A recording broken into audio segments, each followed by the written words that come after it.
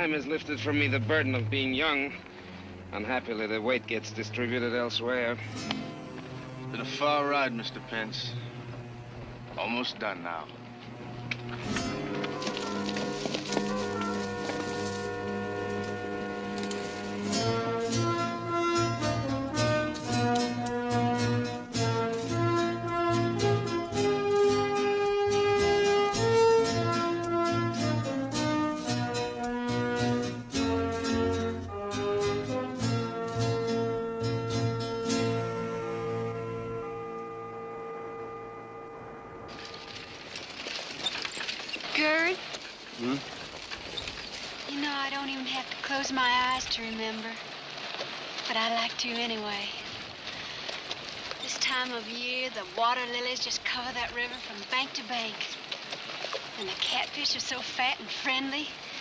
Everywhere you look, there's grass and sedge and palmetto so green it, it, it just makes your eyes ache. Well, I'm so glad you're going to be seeing it that way the first time. See what the spring does to it. Going home. Words like that you oughtn't just say, you ought to sing.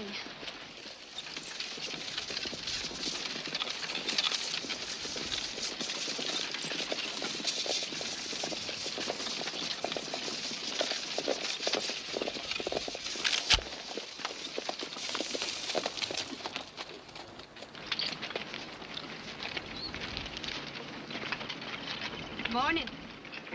Canliss. Allow me. Only my card.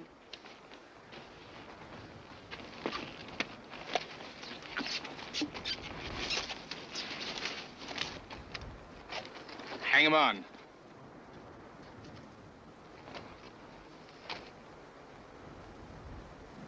Where's the glory? Who'll ever know way out here?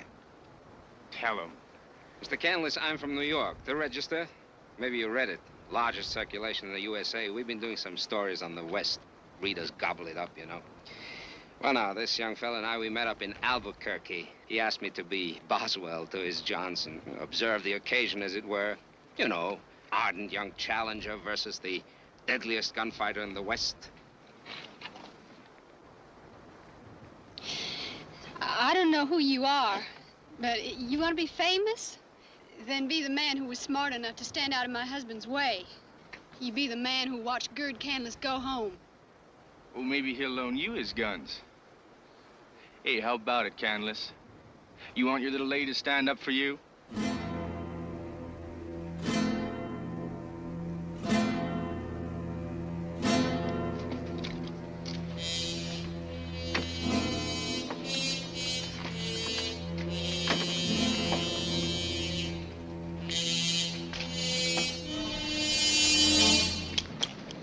Can't hold this long.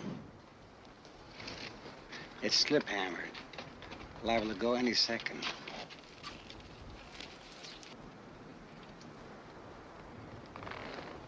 Now you pull your gun, aim it at me. When you're set, fire.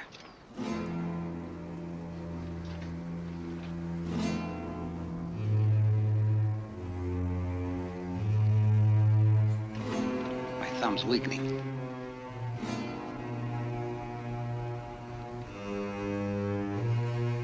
Quick now. Unhitch. Would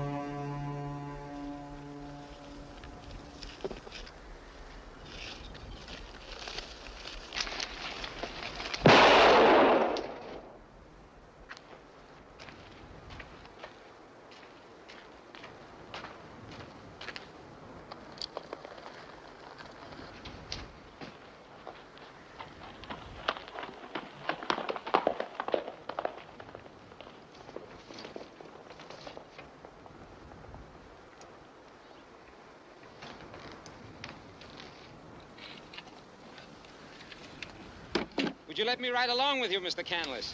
That is, if I could switch to that wagon of yours. Man with your style deserves more than just a column in a newspaper. Book, Mr. Canliss. Ah. How'd you like for me to put you in a book? Name your price.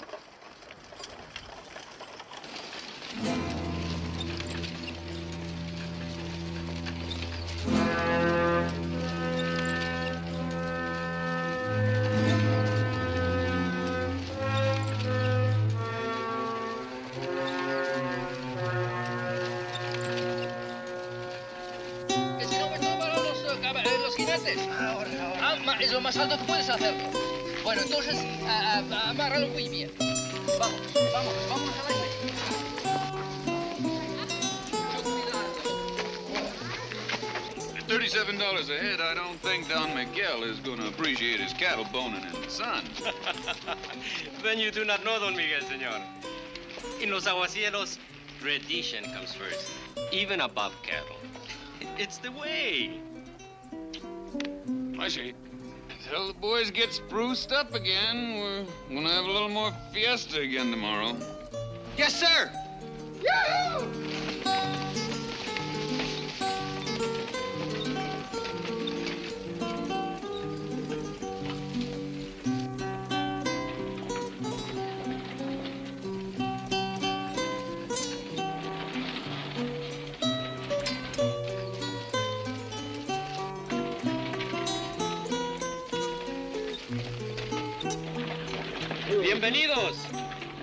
Señor.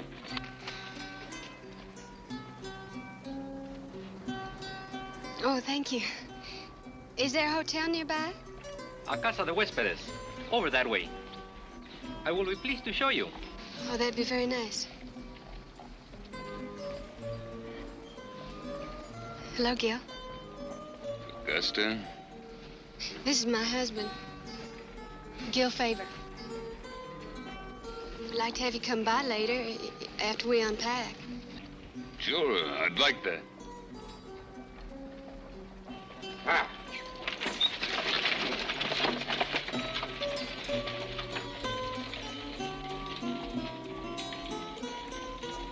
Don't ask.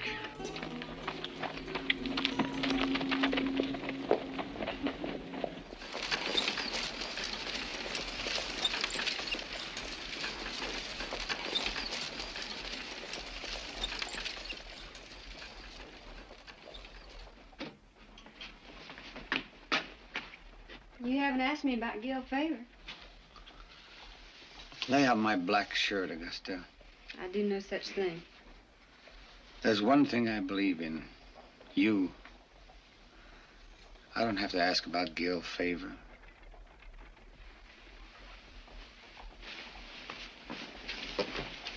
You make a perfect target.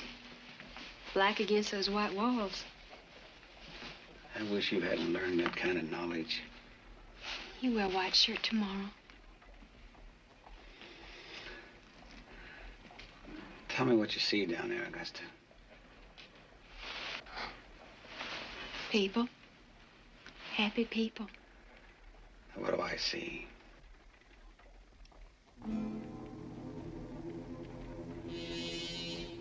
Whitewashed walls. Where the sun stands at noon, at one, at two. Does a steeple block it? Where are the reflections? From which window? Which water trough? How do the shadows fall? Where a heel might catch a foot slip.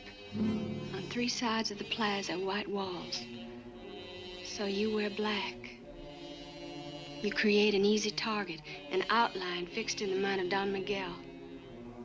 A thing in black locked on his front sight. But suddenly, when the moment comes, you change positions and now you're there. In the doorway of that church. Dark open doorway. And the blackness of the chapel coming up behind you.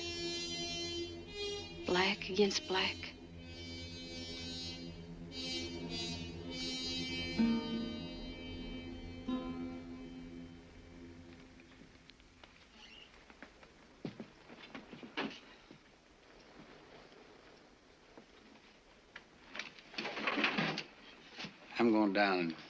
Pace it off. I'll leave my gun belt here. No reason to alarm all those happy people. Augusta, would you tell me again about that place of yours where where we're going? Oh. Um, eight white pillars guard the front. And and greyhounds Papa brought from Italy scamper on the lawn. All the way all the way down to the river that lawn goes. And you can smell the sweet swamp land and all the rich honey earth around. And inside our house, there's a double staircase so that mother and daughter can make stunning entrances together, trying to outdazzle that crystal chandelier that Papa brought from Vienna. And oh, from the kitchen, odors and, and spices so pungent, it's just gonna drive us wild. Annie's tipsy cake. My, that is something to look forward to.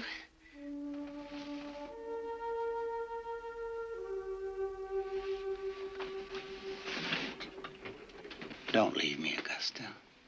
Don't ever leave me. Oh, well. I don't have the sense.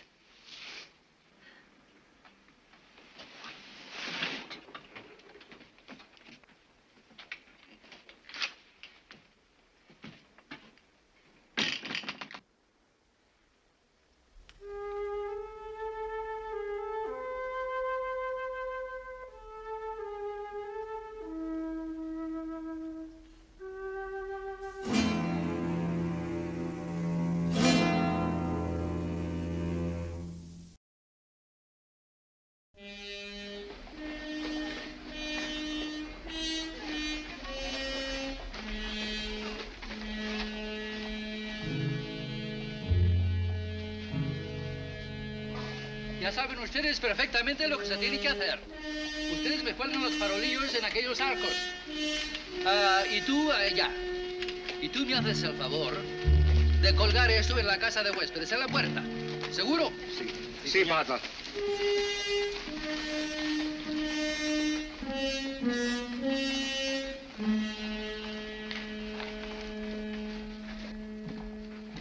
The doors of the chapel are always open. Unlike the doors to heaven. In either case, all you have is to enter. They always let. They represent prayers for the safe return of Don Miguel and his ciboleros. When is that? Tomorrow, Will they be lit tomorrow? during the fiesta, not very likely. Unless you care to light one yourself.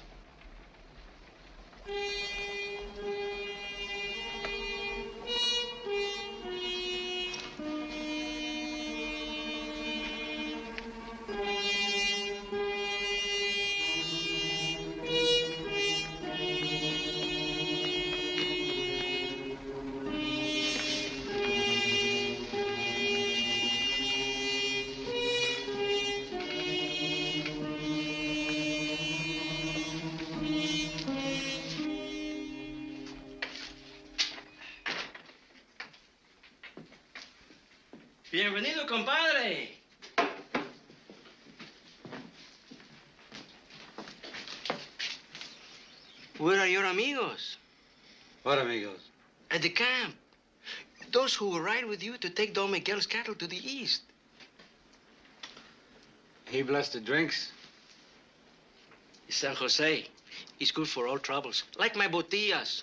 You know, Padre Tasso, he said to me, Manuel, you wish a santo in your cantina? Put him there. San Jose has seen worse and suffered more than a few poor borrachos.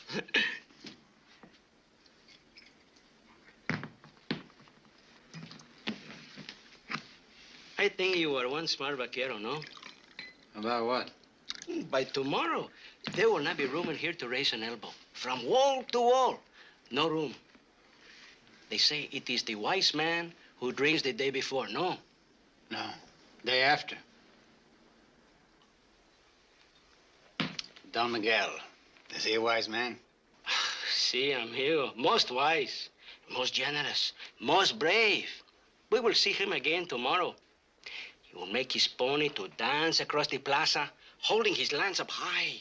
And behind will come the burros and the carretas, heavy with buffalo meat. To Don Miguel. To Don Miguel.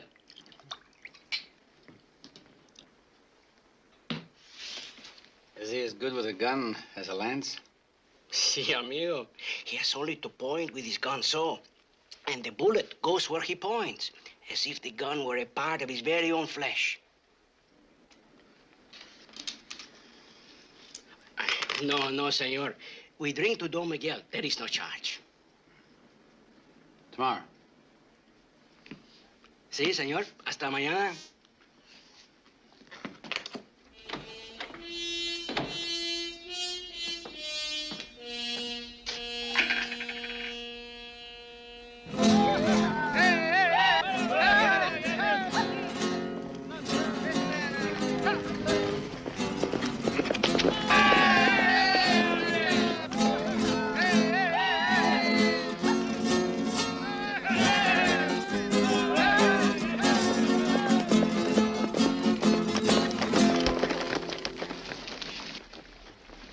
There is none here to speak against it, let it be Lope de Cruz who rides at my side through the plaza tomorrow.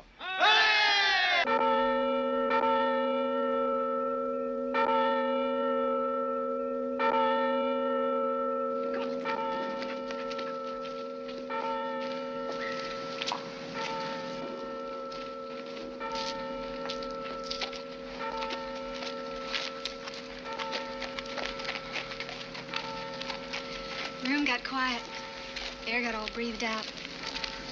feel I was born here. I know every stone. You want to show me? Do not send to know for whom the bell tolls. It doesn't toll for us. Hmm? It's the Angelus. The Angelus is a devotion commemorating the Annunciation. Said it morning, noon, and evening. You know, Augusta, a man could never really get to know all of you. Coming down here and finding you isn't the only reason I'm here. I'm going to go to church and pray. Unless I can charm you out of this foolishness. Fifteen hundred dollars an hour. That's a lot of charming. Is that what they're paying you? Well, we don't need their blood money. We got all that and more in Baton Rouge just sitting there waiting for us.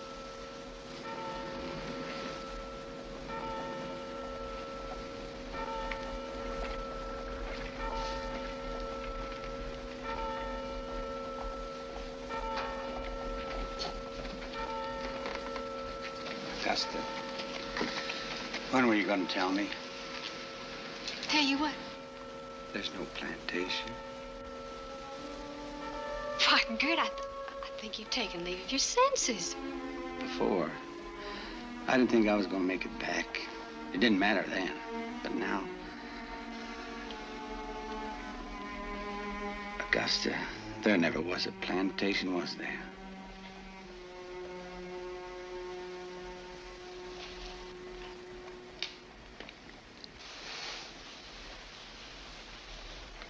No. No. Just old shack in the swamps of fodder corn piled at the window for one old skinny hog. Breakfast on, on pale grits and sweet potato coffee. I was 14 when they fought a battle hard by, Union troops and our young men. I could hear the artillery.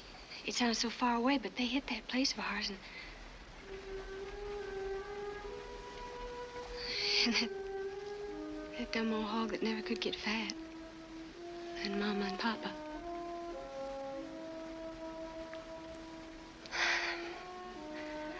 I just. I just wanted to make you want it. I just wanted to get you back south.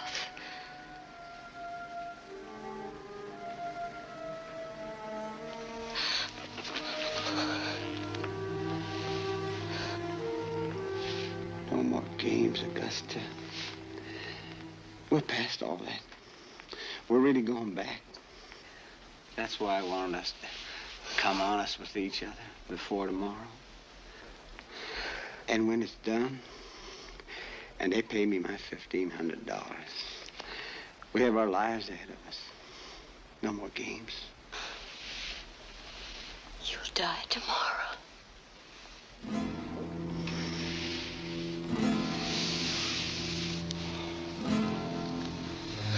We'll go in now.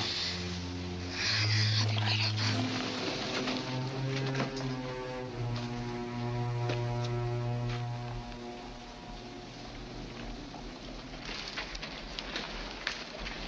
Little boy, Would you like to earn a dollar? Sí, señora. Somewhere nearby, there are Americanos who come for the cattle of Don Miguel. Do you know where they are? Sí. There's one, Senor Favor. You ask for him and tell him the lady said Don Miguel must not come to the plaza tomorrow. But why not, senora? It is his plaza. You just do what I say, you understand? Now run along here.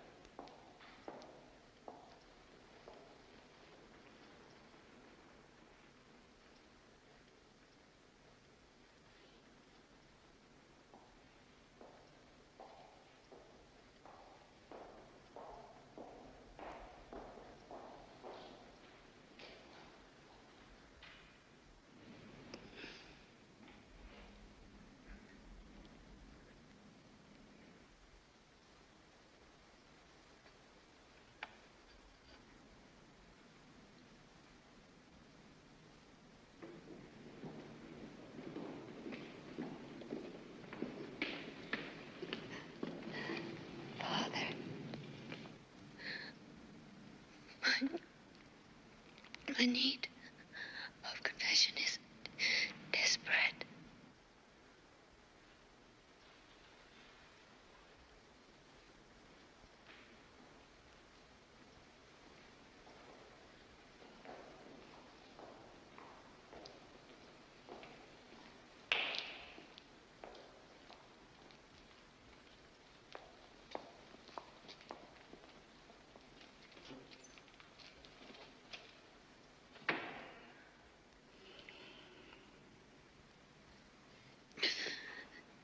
Bless me, Father, for I have sinned.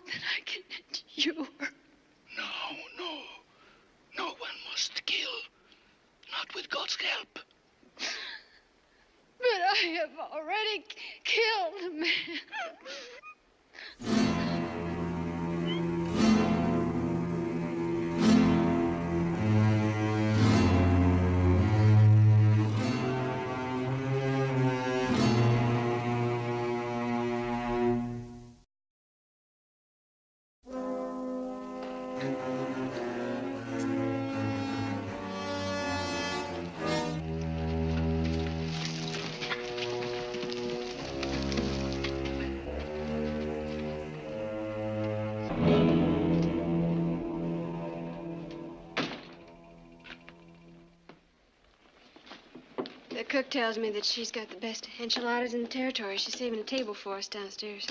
You know I never eat before. Oh, that's right. In case you get hit in the stomach.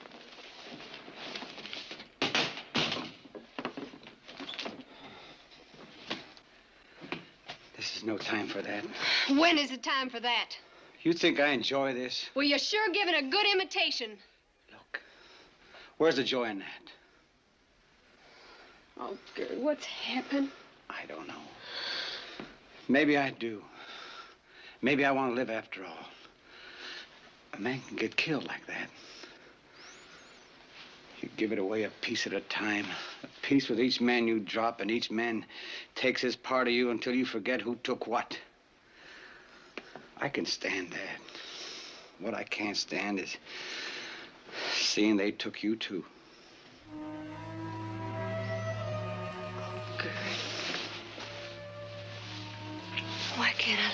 All the hate?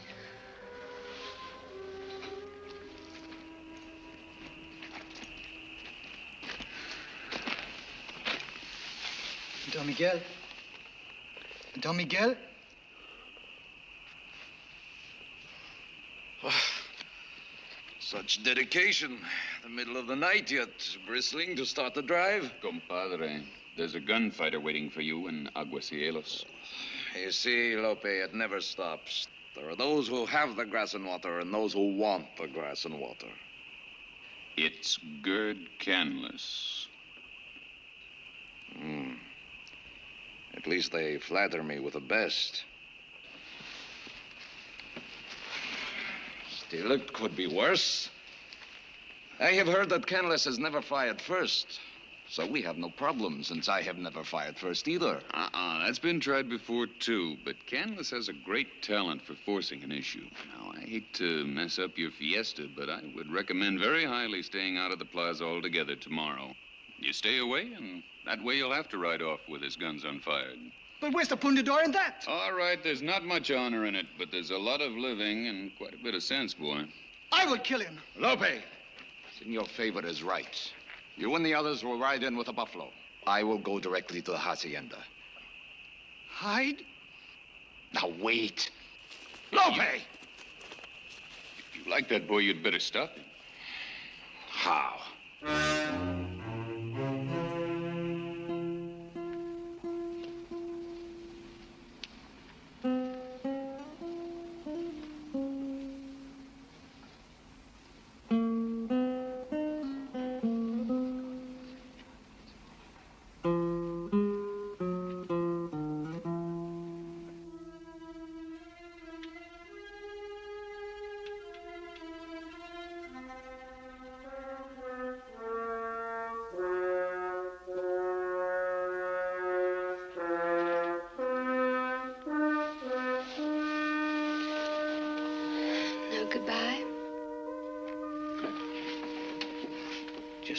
Feel the weather. I didn't see any reason to wake you for that. Go on, go back to sleep.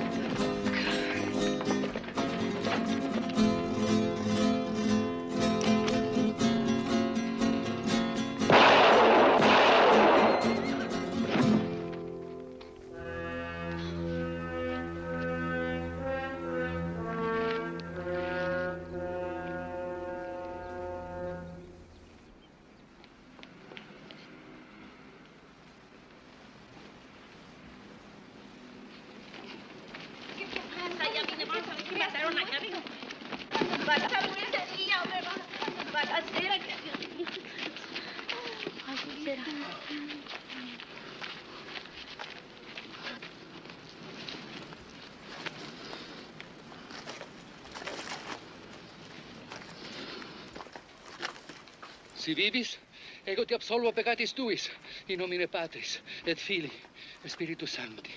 Amen. Who was he? I said, who was he? Don't I have the right to know the name? Both, to know and to remember. Lope de Cruz.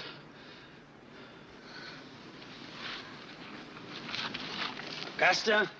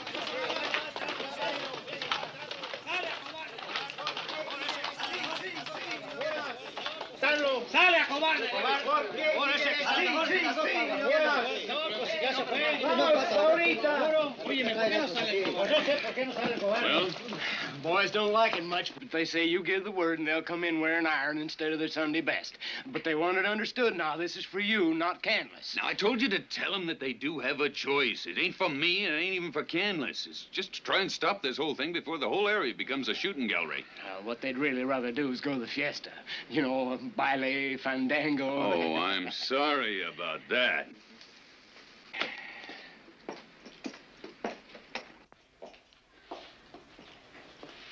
Should be finished by now. Let's see. Forgive me, Senora. I uh, stayed on my knees longer than usual. One prays for many things, but uh, forgiveness is all he can truly hope for. It is the thing he needs the most forgiveness. Yes. Forgiveness. I should have stopped him, I know. Shot him in the leg if it came to that. He would have healed. He would still possess life. I thought of the same thing. I thought sometime I'll just shoot him in the hand. He, he, he'd never forgive me, but, but he'd be alive. I never could do it. Senora, if you wish, I will call my housekeeper. Perhaps she has something you would care to try on. Oh, no, no. I, how I look is unimportant, but what I ask is. Gurd came here to kill you. But for once, things didn't go the way he planned. I know what he's going through right now. He probably thinks I left him for good. He, he's probably wondering about a lot of things. But I think that just this once, I may be able to make him leave. I, I just might be able to get him to listen to me. I just ask you one thing. To let us ride out of this valley together. To let us leave. Senora, I have no desire to stop him. And what about your men? Like that man that tried to kill him. I have commanded that there be no violence unless your husband starts it. Don Miguel, you'd better make some more commands. There's certainly no peace party out there. Please. Promise me. I promise, Senora. If you act at once, I do not know how long they will listen, but I will try. Thank you. I'll ride you back, Augusta.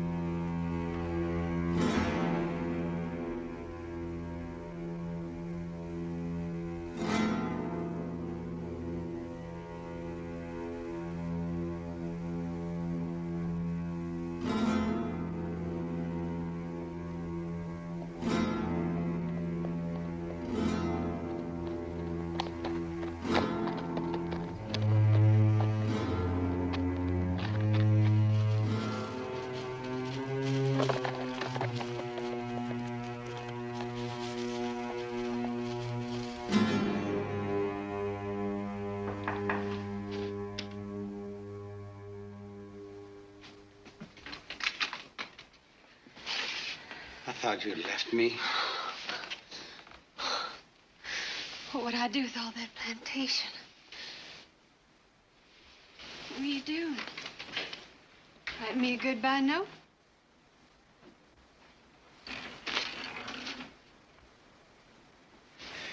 Yesterday, Augusta, down by the church, I made you admit there was no plantation. Not because I wanted to embarrass you or expose you, but because I wanted everything between us to be honest.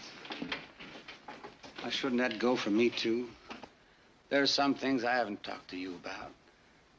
And I wanted you to know not as an excuse for the things I've done, but because now is the time. I thought later on they'd come up here, find the note, and send it on to you.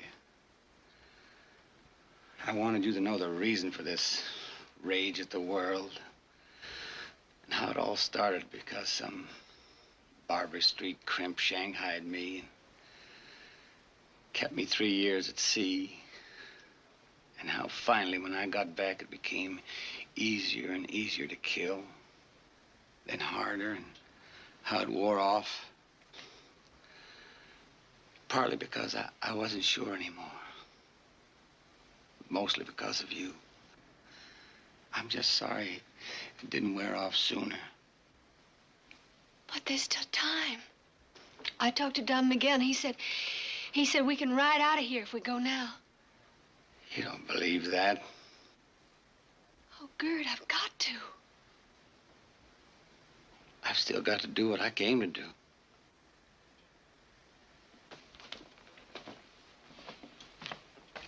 But you said it was all worn out. You said it was all done. You were writing it in that letter. You were supposed to read that, Augusta, after.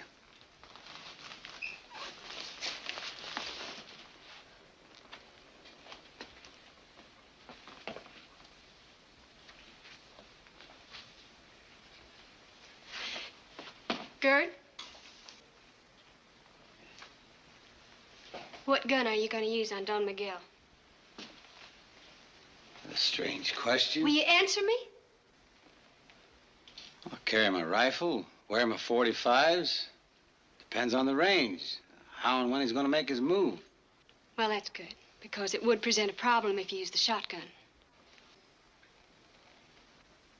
When you make your move, where do you figure Don Miguel's going to be? In the center of the plaza, or the east, or the west?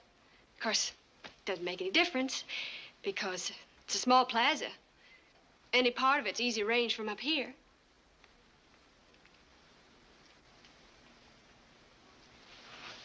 Open my trunk, will you, Gurd?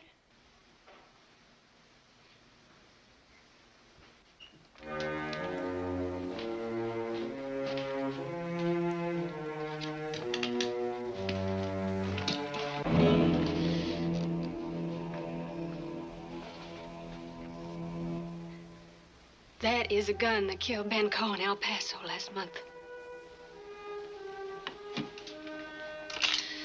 You had been shaking and talking in your sleep all night.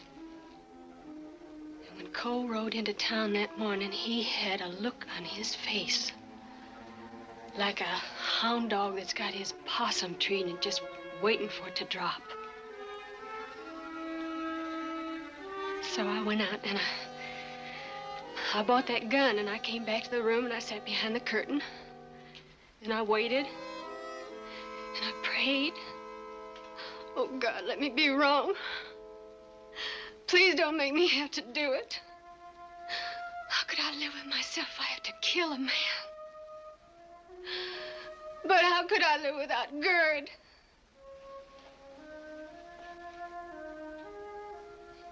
He was facing me. It's not more than 50 feet away when he drew down on you. You remember? It was right after you left the hotel. You were on your way to the stable. There were three shots. Two of them sounded like one, mine and Ben's. Yours was late. Ben was already dead. Oh, I knew it. I felt his slug brush my neck even as I fired. I'm dead, I thought, but Ben fell, not me. I knew someone had bushwhacked him, because I missed him. Me?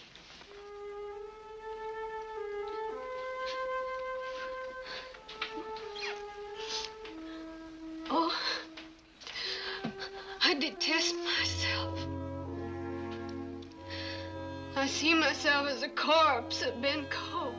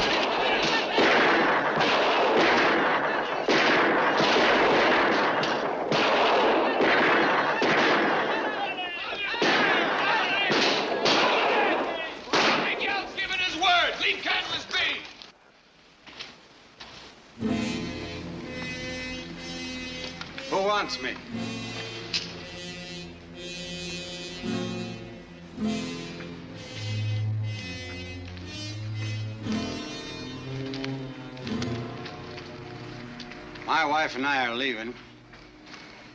Anybody feels to the contrary, they'll have to convince me. Have them bring our wagon around, Augusta, and the trunk from upstairs.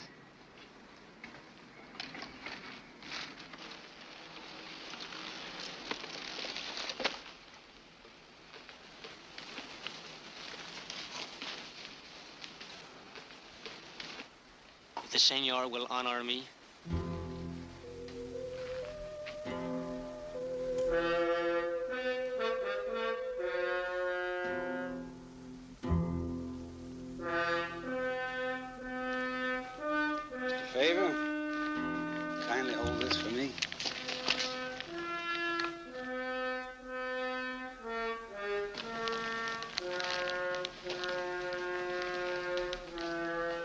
Augusta, our wagon. You can stop it now, Gurd. There's still time. You're talking to the wrong man. He's the one to stop. No. We are sick, sorrowful about your friend. But everybody saw it. Father saw it. He attacked my husband with no warning. If he had not come to Los Aguacielos, senora, it would not have happened. He came with death. He must go with death. No!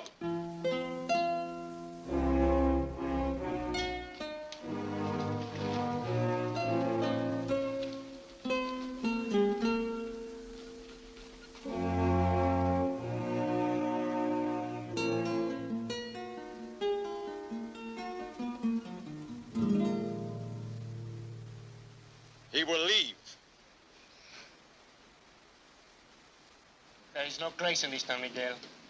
No honor, no pride, no future. Aguacielos is more than a place.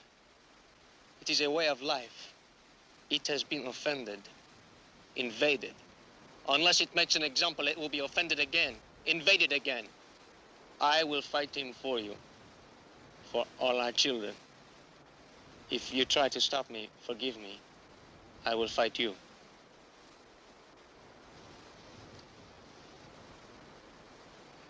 I am sorry, senor.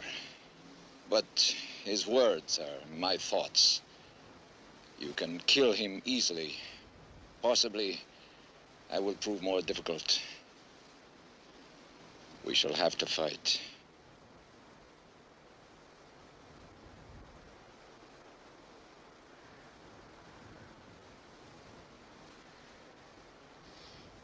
Don Miguel. Bring the children here.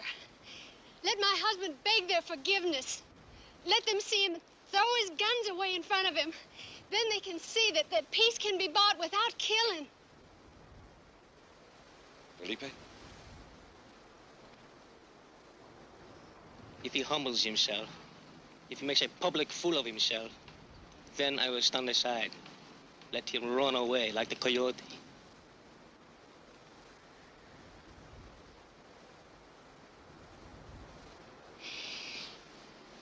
Get down if you have to.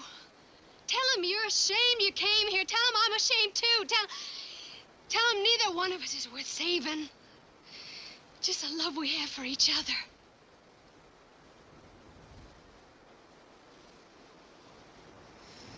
I came here a man, and that's the way I'm to leave.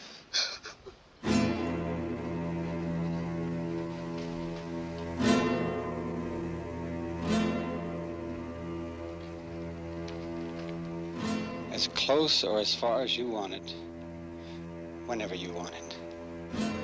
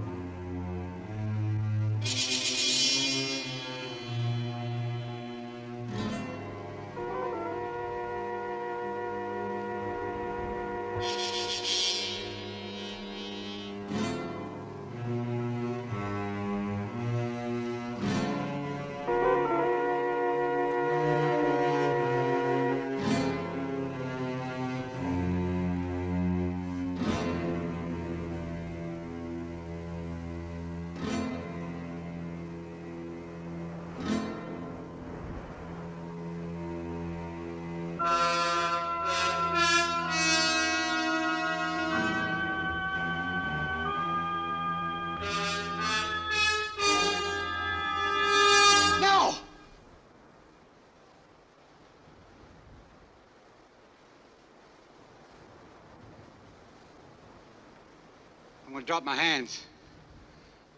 Take off my guns.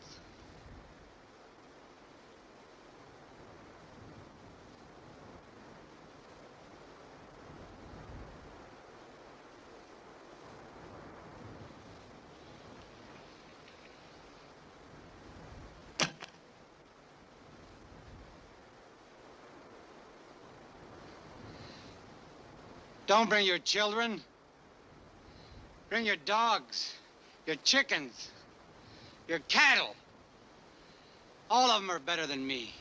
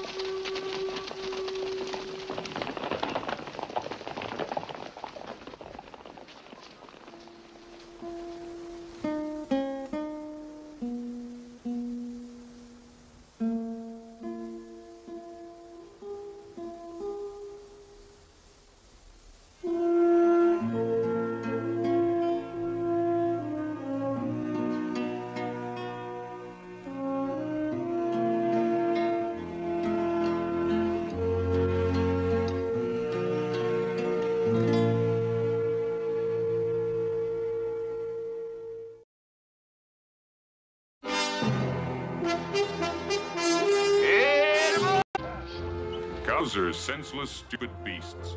They go halfway across the continent just to be slaughtered. The trouble is, nobody ever trained them to go alone. It takes men to push a herd north. Men and time, and sometimes pain. That's where I come in. I'm one of the men. Gil Favor, trail boss.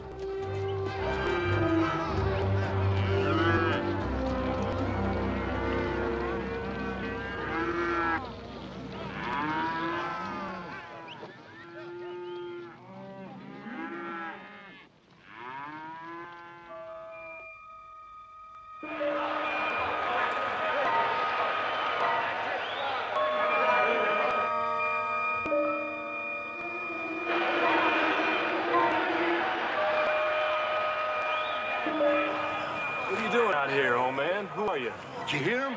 Huh? Oh, oh, oh, drovers, they always yell like that. I'll get used to it. Keeps them from things and not...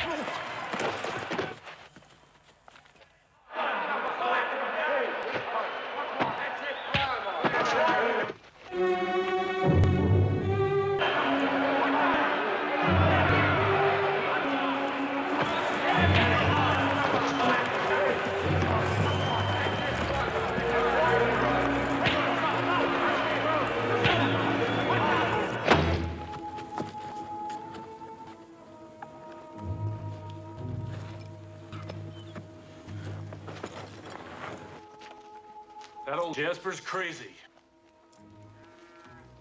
I don't see any papers on him. Here's a photograph. What happened? He tried to kill me. Well, what for? Well, how would I know? It's about time to bed down the herd anyway. We'll find out who he is when he comes around. That is, if he can tell us. Jim, Joe, let's put him to bed. Hey, boss.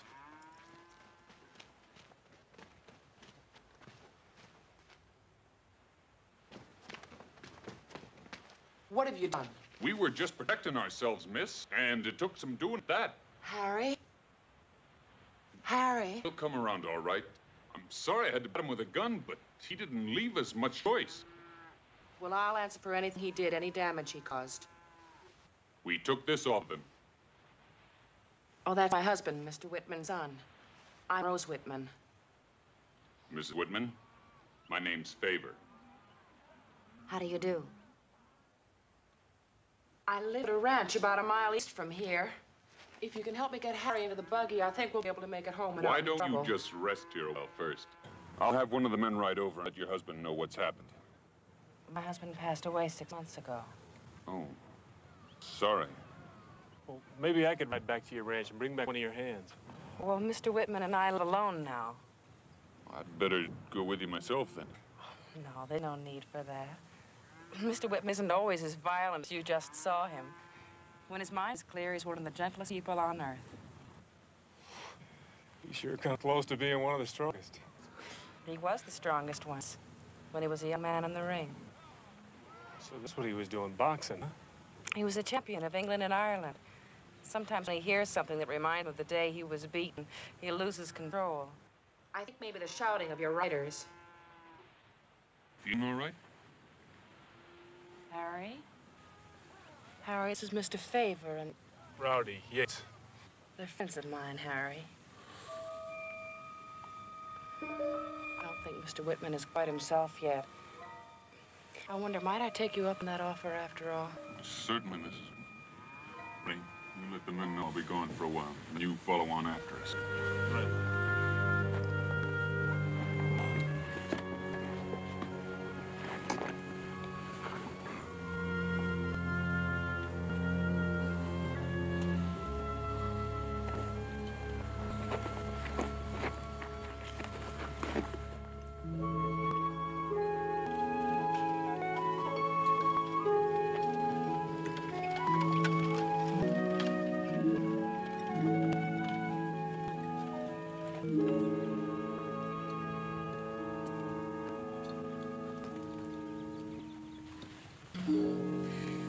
way and not a word. Blame the silence on me, Mr. Favor, not Harry. No blame to anybody. Figg was the first champion. Then came Pipes. Then Gretton. Then Broughton. Right. I, and I broke Tom Hyer's jaw in the 30th round. Boston, 1846. You know, he was a very good man. I promised to meet again. And, uh, of course, you know, I've got something knuckles a little more. He said they're not ready yet. Did Hart send it to me? Yes, yes. Oh, yeah, it's his jaw. See, he needs more time for it to heal. Now, don't lie to him. I, I don't want him to feel small or baggy. Just tell him that I'm not ready either. Here's John's picture, Harry. It fell out of your pocket. If you're going back in training, you'll need your sleep.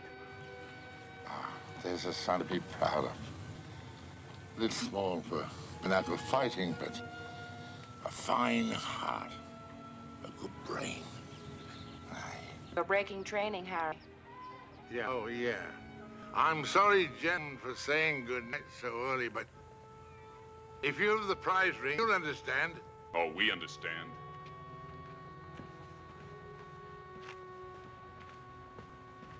Harry sleeps in the barn. He loves the smell of hay. Mrs. Whitman, I know it's none of my business, but shouldn't you have a couple of hired hands around in case anything happens? It isn't that easy to find someone you can trust nowadays. Well, our trail map says we're close to a town named Rock Point. Don't you have any friends there you could have come out? I don't get into Rock Point very often. My husband and I moved here just a month before he died. We never had a chance to make many friends. Aren't you worried about your safety? Oh, nothing will happen to me. You'll stay for supper. I have a stewed chicken. It'd sure be a relief from wishbone stew, but uh, we got work to do. Oh, I, I'm sorry. Thanks for putting yourself to all that trouble on my account. No trouble. We'll uh, tie up your team before we leave. Thank you.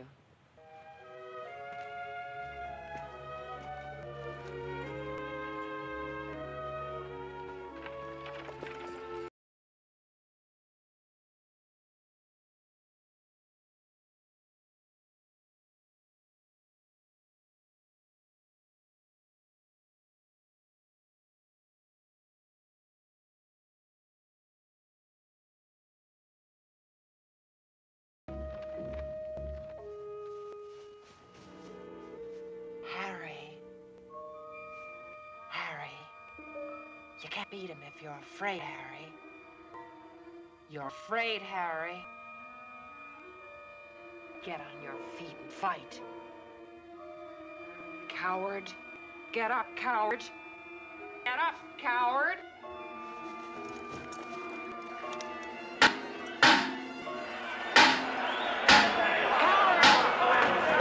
No, no,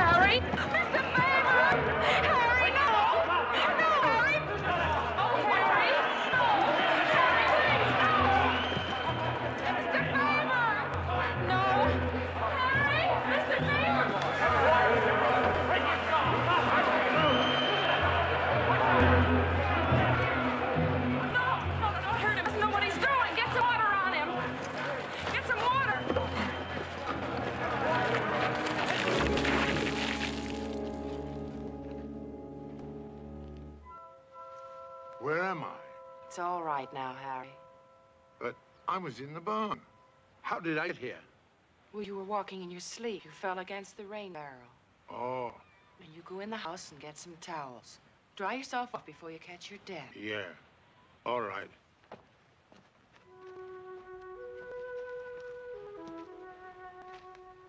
Could be beaten to death at any time, couldn't you?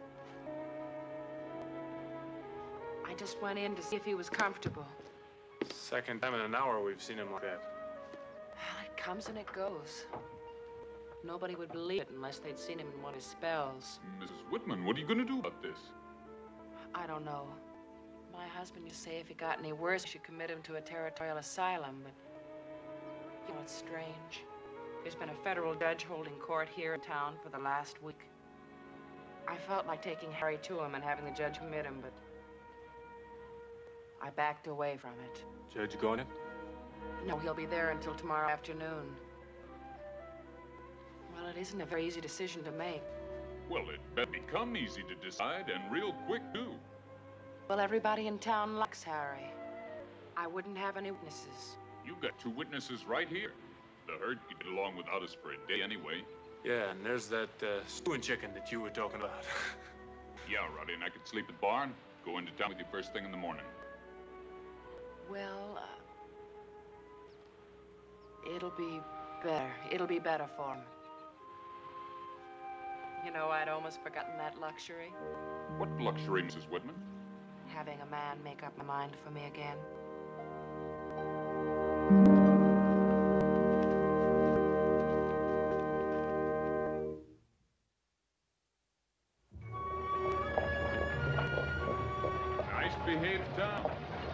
Folks usually make a carnival out of it week.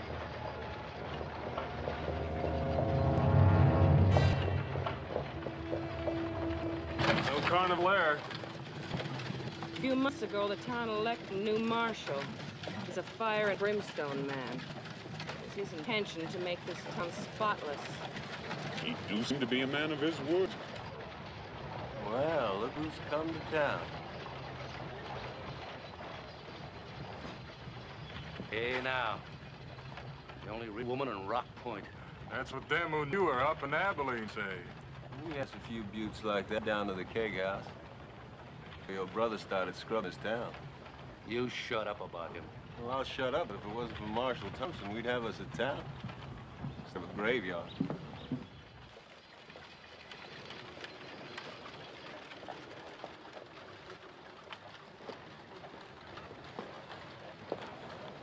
Thought the marshal had run her out of town. Not that one. She's too brazen to run. Just so you know, I worked in the Crystal Palace Saloon in Abilene. I warned my husband how people would feel.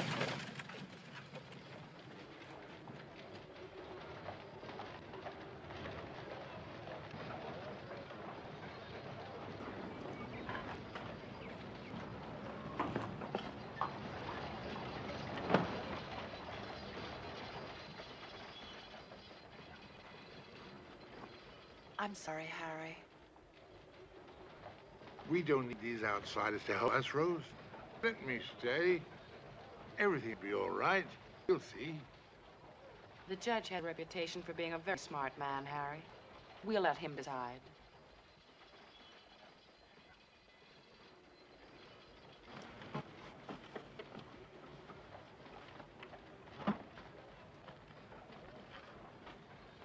to see a lot more of you in Abilene, Rose. Get your hands on me. Since when you been so fussy? All right. Break it up, break it up. You're under arrest, mister. For what? For starting a roughhouse. A what? There'll be a fine. Five dollars. It's worth it.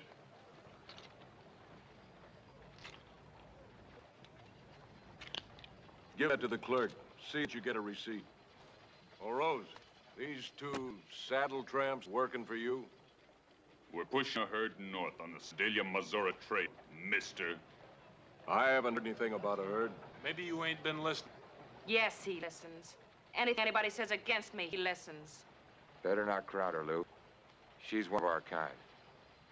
Any of you people ever see these two before? I never seen him, Lou.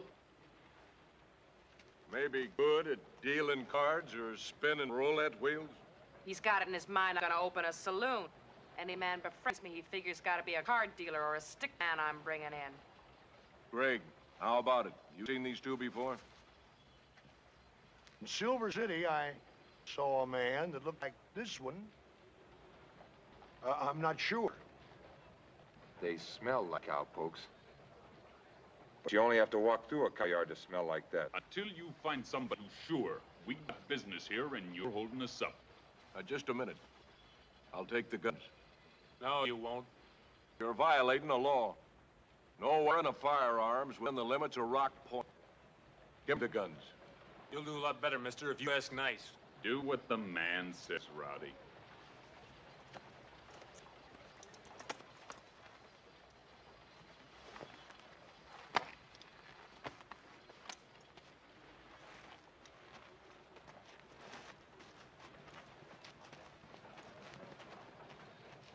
Hear ye, hear ye. First District Court of the United States is now in session. Judge James Cuff presiding. All right, court's open. First case. Your Honor. We'd appreciate it if you'd put the Whitman case at the top of your list. Well, what's your reason for this request? Mr. Yates and I are witnesses for Miss Whitman, but we're also pushing her north, and we're kind of pressed for time. Well, all right. If there are no objections, we'll take the Whitman case.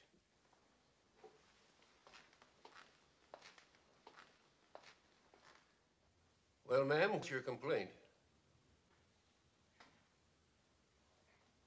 Your Honor, this is pretty difficult for Mrs. Whitman. Maybe I could talk for her? Maybe you can. That is, if it's all right with her. Is it, ma'am?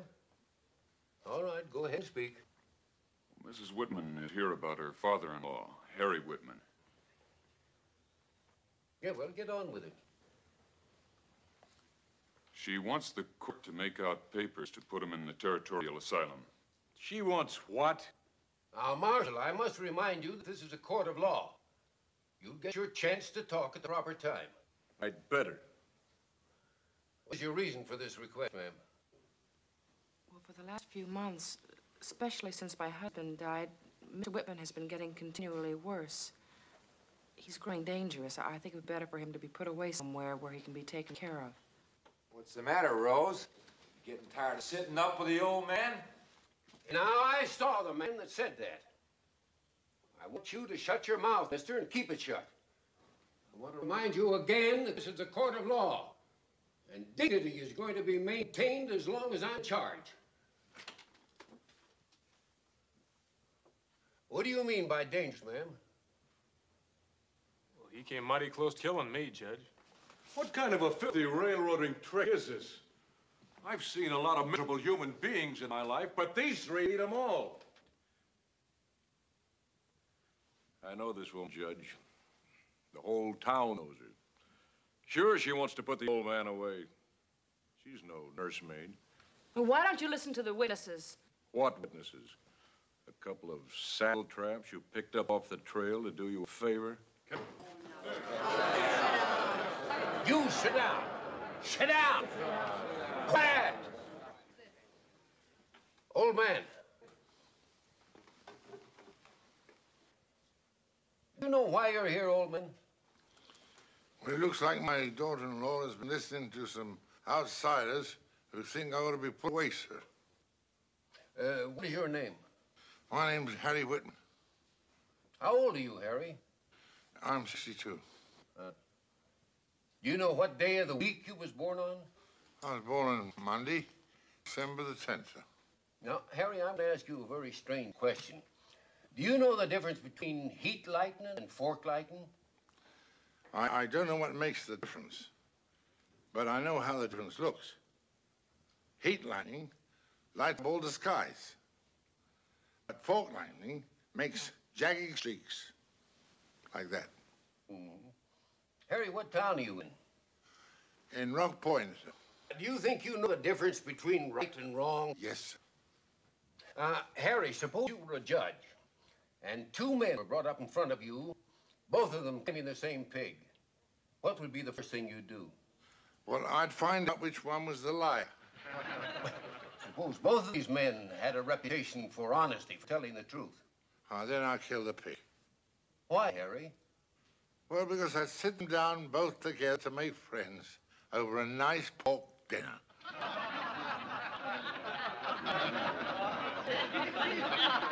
Quiet! Quiet! Order. Why, this man's just as sane as anybody in this place. Petition denied.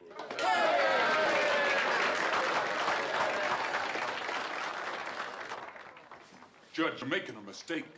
There are a great many bare knuckle fighters back east in this man's condition. Now, they don't put them away there, and I don't intend to put them away here. I don't know about that, but I do know they saw him try to kill Mrs. Whitman. Look, Judge, it's for his own good as well as for hers. I can find no evidence on which to commit Harry Whitman to an institution. Case dismissed. Please, please, it's best for him. He doesn't want to kill anybody. Nobody here knows what he's like when he's not in his right mind. It's best for him. Anybody here to see Harry try to kill? No. She's trying to send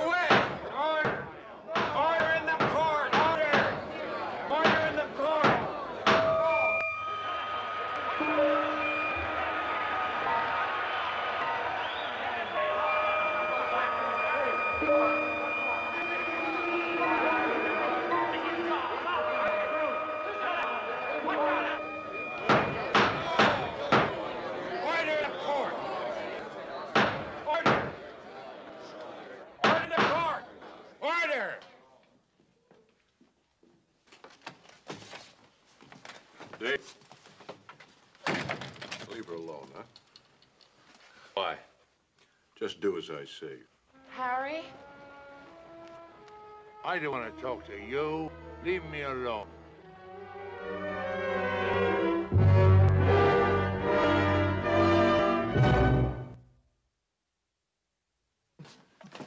Let's have our guns, Marshal. Leaving us already, cowherds? Well, Marshal. A while? You're leaving for good. Tell me, what does it make you folks in this town so friendly? Long, hard hours of practice? You called it. Practice and experience. It's taken us a long time to scrub up this town, and we don't aim to have it all dirtied up by a couple of two-bit saddle tramps from off the Sedalia Trail.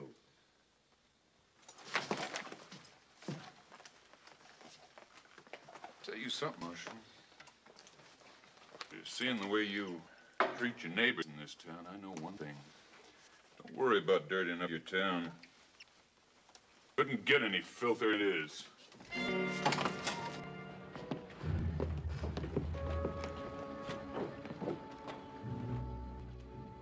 We want to tell you how sorry we are about how it turned out. If there's anything we can do,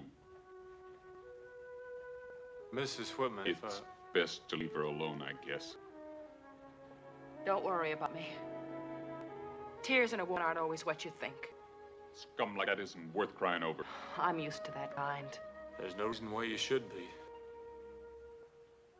You know Abilene, Mr. Favor? Some. You ever been to the Crystal Palace? Yes, sir. John came in there one night to play faro. I sat down next to him, and he said I brought him luck. He'd just bought his ranch, and he was on his way to pick up his father. He asked me to marry him. And I wasn't afraid.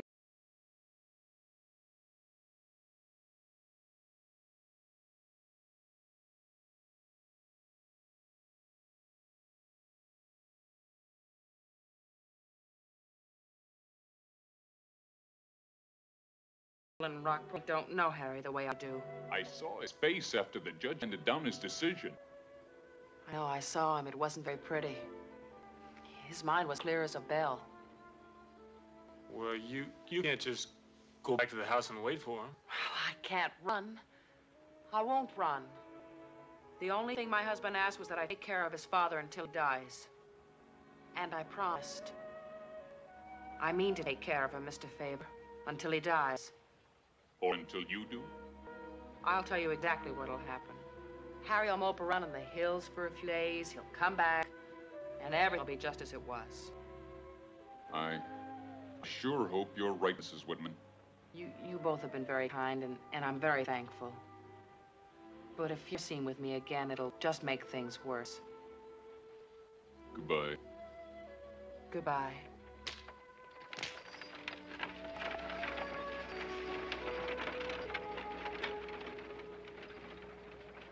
You believe what she said about the old man coming back acting natural? What's more important, she doesn't believe it either. But she asked us out of it. She must have good reason. We could use some wheels. Our wagons are all crippled. Hey there!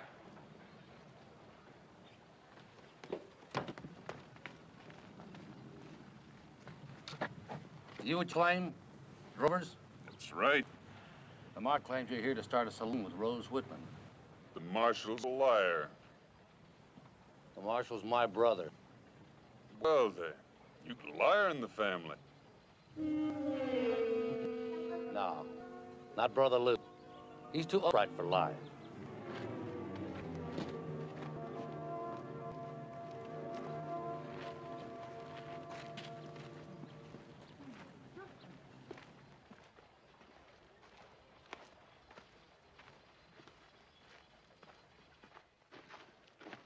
Looking for wheels. Sorry. This used to be a friendly town. Well, whenever was that? Before Lou Marshall made himself Mr. Law and Order in person. You mean there's nobody to stand in his way? The whole cemetery full of people stood in the marshal's way. That's a good wheel. Got a dozen of them. We could use three, if you could lend us a wagon to haul them in. Seven dollars apiece. It's good enough. Twenty-one. There's nobody in this town who side with a woman who needs help. Point is, miss, you side with her, the marshal just figures you're siding against him. Well, now, you think the marshal could stand it if uh, you rolled a wheel alongside of us? Wagon's just outside.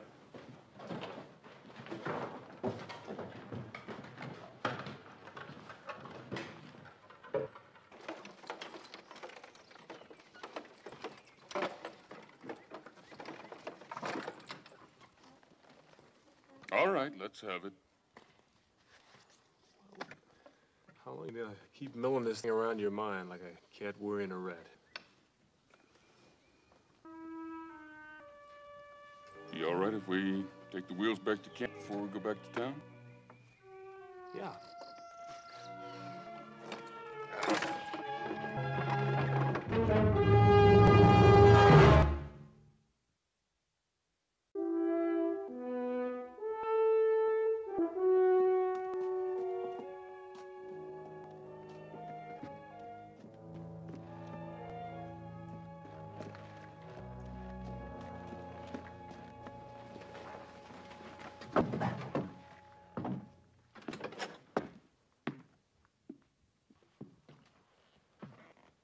What's the matter, Mrs. Whitman? Nothing. Well, you don't look like it's nothing. Your voice don't sound right neither. I'm worried about Harry. He's up in the hills. I'm afraid something might happen to him. Oh, yeah. Well, what you need is a man on this place. I mean, someone else in Harry. I know. Well, you know, I, I just never rest if I didn't try to apologize the way my brother and the rest of them Clydes acted toward you in court this morning. You know, Brother Lou, he, he just don't understand human beings. I think A lot of people are getting sick, tired of his ways. But I, uh, I didn't come here just to apologize for brother. I came to help. Help.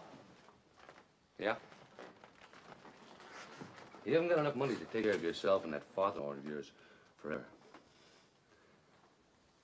I want to help you enough so you can. How? You want to get back east, don't you? You go, Don't you? me. You get back east and dress like a lady and spend money like you something. Isn't that it, huh? Anything wrong with that? No. No. The only thing wrong is you can't do it. Have the millstone around your neck. And that old man is a millstone, isn't he? You just can't shake him loose. What are you getting at? How much you figure this house and the barn, livestock and acreage worth?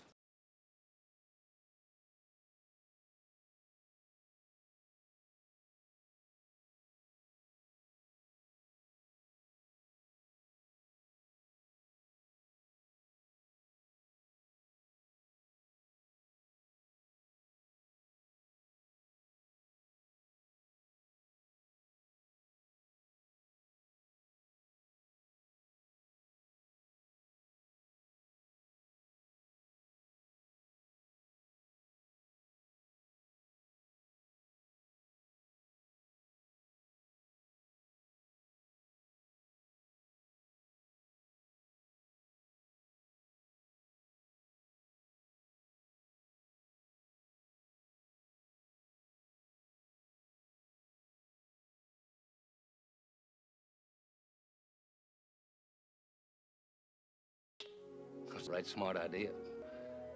Too bad that testimony didn't work. Harry came out looking like a sensible, harmless old man. He's not. He isn't. Not all the time. I've never seen him when he's not. He'd be made to act crazy. He can. Yes. All right, now listen.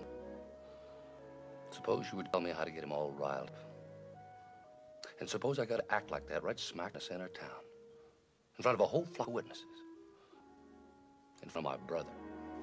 Now, if the town told the judge that they saw Harry acting like that, the judge would have to send him away.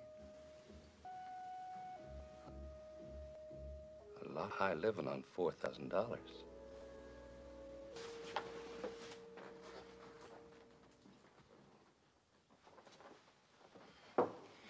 All right. All right, Dave. That's fine, Rose. Fine. You got us a bargain? Yes. You'll find him up in the hills above the North Road. He always goes up there to brood like a child or a dumb animal. But you haven't told me, Rose, what I do. How do I get him riled up? All those years in the ring. He was in too long. Whenever he remembers that last time when they had to carry him out and took him two days to regain his senses, Now, wait a minute, Rose. I don't want to take advantage of you. I want this thing straight and above board. You got a pencil paper?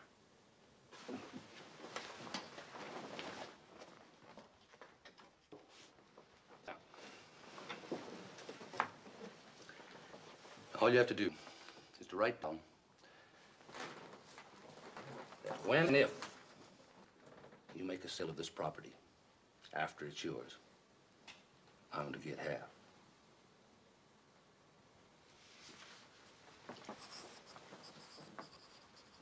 See, I'm like you, Rose. I want to get away from this stinking town, too. And with $4,000, I can stay away for a long time. Or we could stay away for a long time.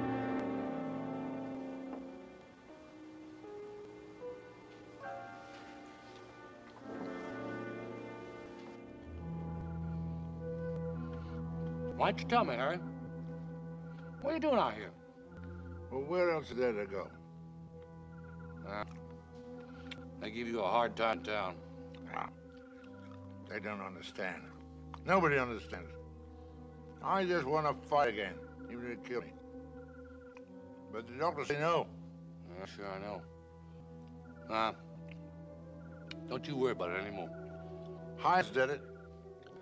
He knocked me out in that 30th round in Liverpool. Huh. See, I broke his jaw in Boston. Then I gave him another fight in Liverpool. He hit me so hard that I had to go to hospital. Some of the people said that I fell down on purpose. No. Yeah. Oh, but some said I was a coward. People got no right to say that to you. I just want to fight again. I'll tell you what. I'll set you a fight. Then you can show 'em all. Huh, Harry? Dave.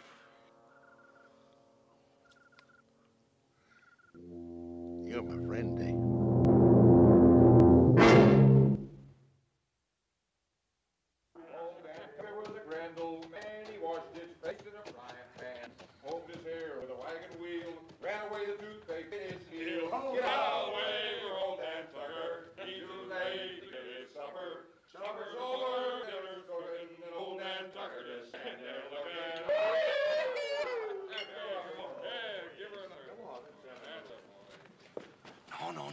We don't want to go in there.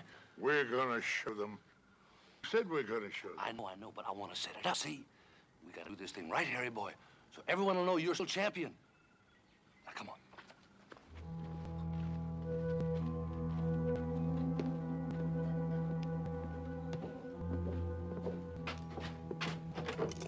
Ah, look at that. They got the ring in the dressing room locked up.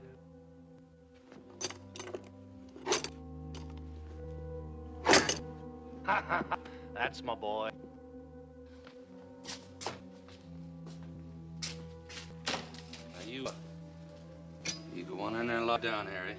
You get yourself some rest while I arrange things. Oh, you're good to me, Dave. Sometimes it's anybody understood me.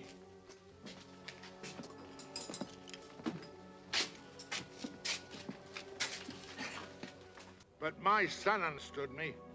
He wouldn't allow anybody to call me a coward while he was alive. Everything's gonna be all right, Harry boy. You just rest up. Now I'm gonna close the door so no one will bother you.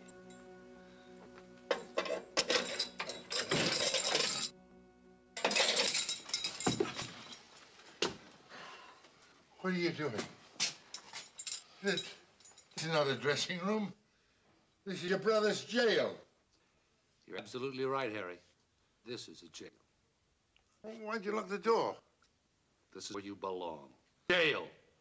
What do you mean? What are you doing, Dave? This is what they do to quitters, Harry. Cowards. They lock 'em up. Oh, Dave, don't fool me. You know I'm all right. Sometimes I get mixed up a bit. And I've been hit so many times that sometimes I feel myself in, in the ring. And I can see the lights go on and they go off again. Oh, sometimes I get mixed up so that I just- don't know where I am. But I'm all right, Dave. Let me out. You ain't ever gonna get out, Harry. Not till you prove you can fight.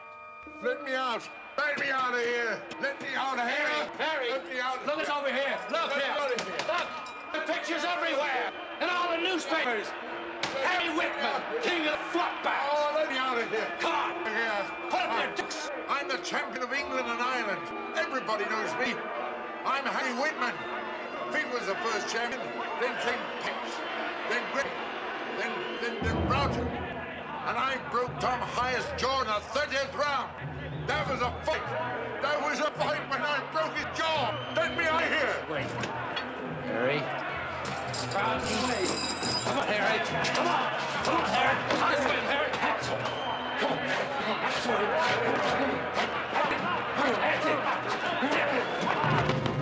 Come on, champ. Hyer's waiting to beat you a pulp.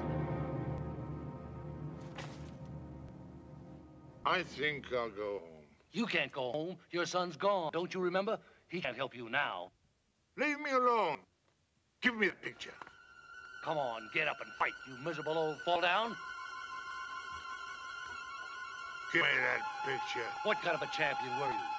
You're afraid to fight Hyer, ain't you? Ain't you? If you ain't scared, come on, let's see how you fight or fall down. Give me that picture.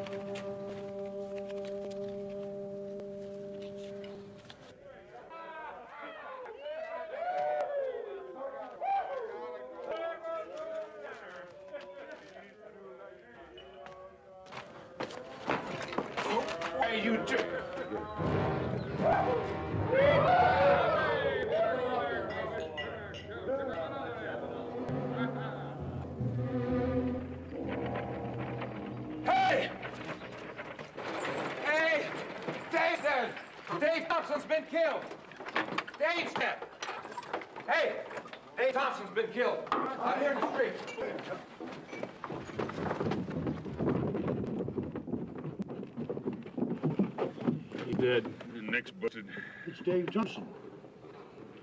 What is it? Sorry, Moose. He's dead. Dave, Dave! come away from him, Lou. Two of you. Carry him inside. You Had to come back, didn't you, Saddle Trap? You couldn't leave the thing alone. It took two of you to do this all wrong, Marshal. He was already dead when we came here. He knows that. Well, speak up, you drunken jabber. Look, Marshal, we're leaving the same way we came in. Somebody tries to stop us. Somebody gets hurt. You two are gonna beg to die. I had plans for Dave. This was gonna be a decent town for him to grow up in. No more temptation. There's a tree down at the end of the street. Come on. Wait, wait. Look, you can't do this. These men couldn't have killed Dave. Who else could have killed him? I loaned them my wagon this afternoon. I seen them ride out of town. They came back, didn't they? That doesn't mean that... Lou, you cleaned up this town. Now, you can't do this. Better go on home, Mel. You're in my way. Maybe it's just as well I am in your way. Lou, it's been a long time since anybody tried to talk sense to you around here. You're putting me, Mel. It was Dave they killed. Who said? Tanner? He, he just said that Dave was dead. Tanner saw them. He didn't say he saw it. Well, don't just stand there. Tell him the truth. They couldn't have done it. I stumbled over Dave on, on my way home. He was dead then. I ran to the barn. I saw these fellows pull up. And they didn't do it. Who did? I seen, I seen Harry Whitman run off as I come up. Harry. Harry Whitman. That's right. Harry Whitman. Anybody know where the man might be? He only has one place to go. Anybody that follows me tonight is a deputy. Right now. Thompson, you already made one bad mistake. Don't make another. You men, don't let him lead you into this. Thanks to both of you for what you did.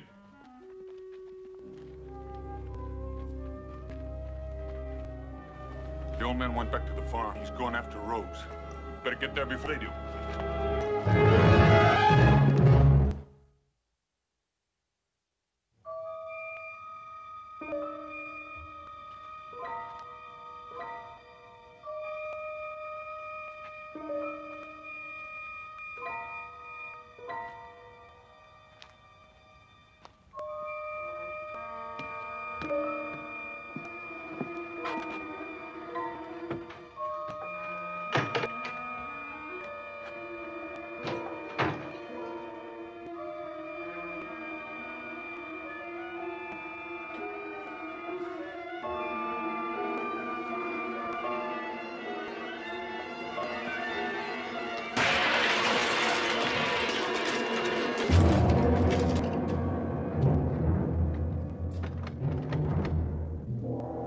I know you're in there.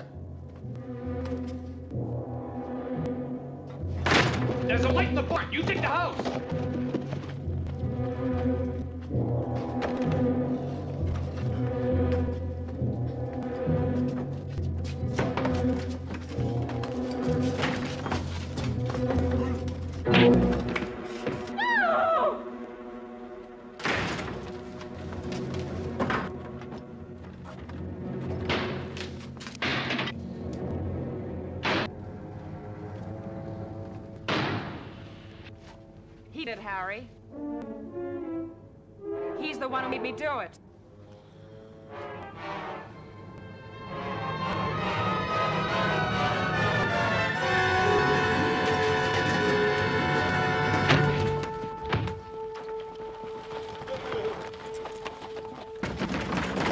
It's open! The door's open!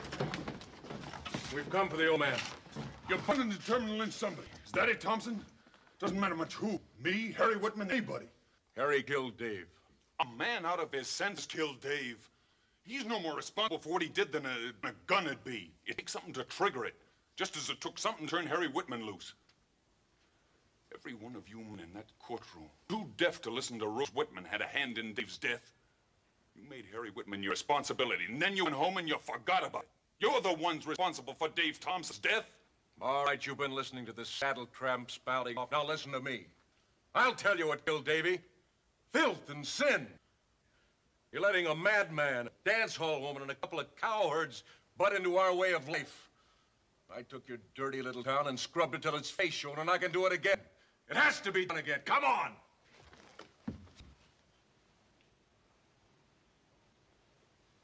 Oh, come on! You're gonna let these two cowards run your town? We came here to do justice. We ain't gonna help you, Lou. Time somebody stood up to you. You ain't good for us anymore. Maybe you were once, but you're not anymore. Lou, we're not forgetting what you did for us. Sure, you cleaned up town. You, you tamed it when it was wild. You made it a better place to live in, but you didn't stop at that. You had to keep right on ruling with iron hand till we were so scared. We, we've been living our lives just the way you wanted us to, doing everything you wanted us to do. Why do you think we came here with you tonight? To, to help you because of your brother? No. We're here because not one of us had the guts to stand up to you. We were too afraid to speak up when you wanted us to lynch Harry here.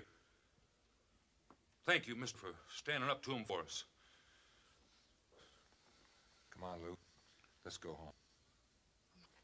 Oh, Marshal Thompson, you're not going without Harry, are you? Not after what he did to your brother.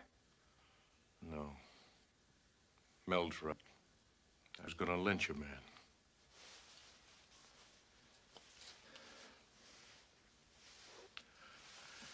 I deserve this. Not anymore.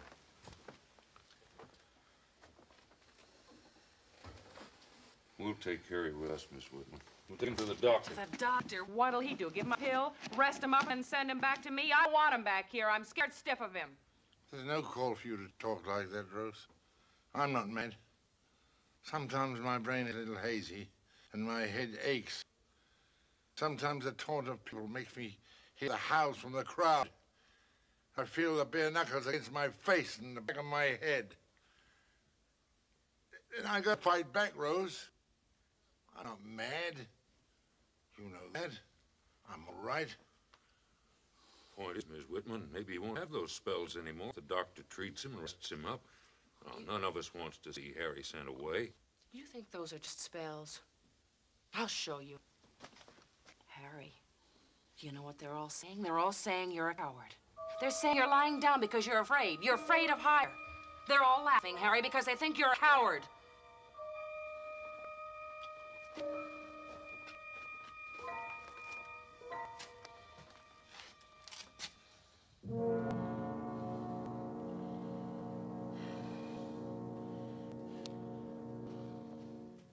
Rose. It was you all along who wanted me put away. It was you that taunted me. You and Dave. I think you sent Dave to taunt me. Well, if it means that much to you, I'll go. I'll willingly go, Rose.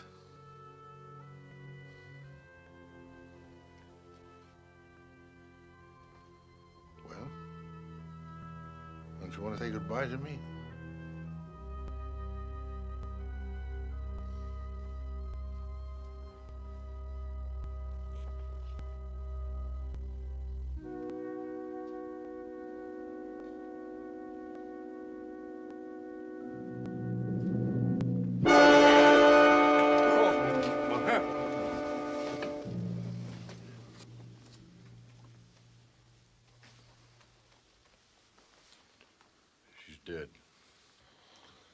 Gentlemen, take me to the place you wanted me to go.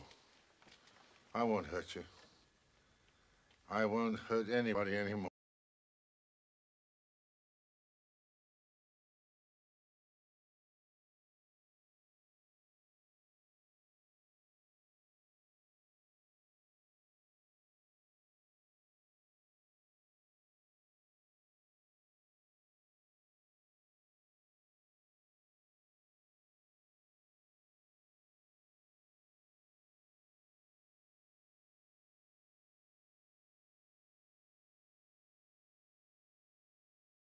Her the most.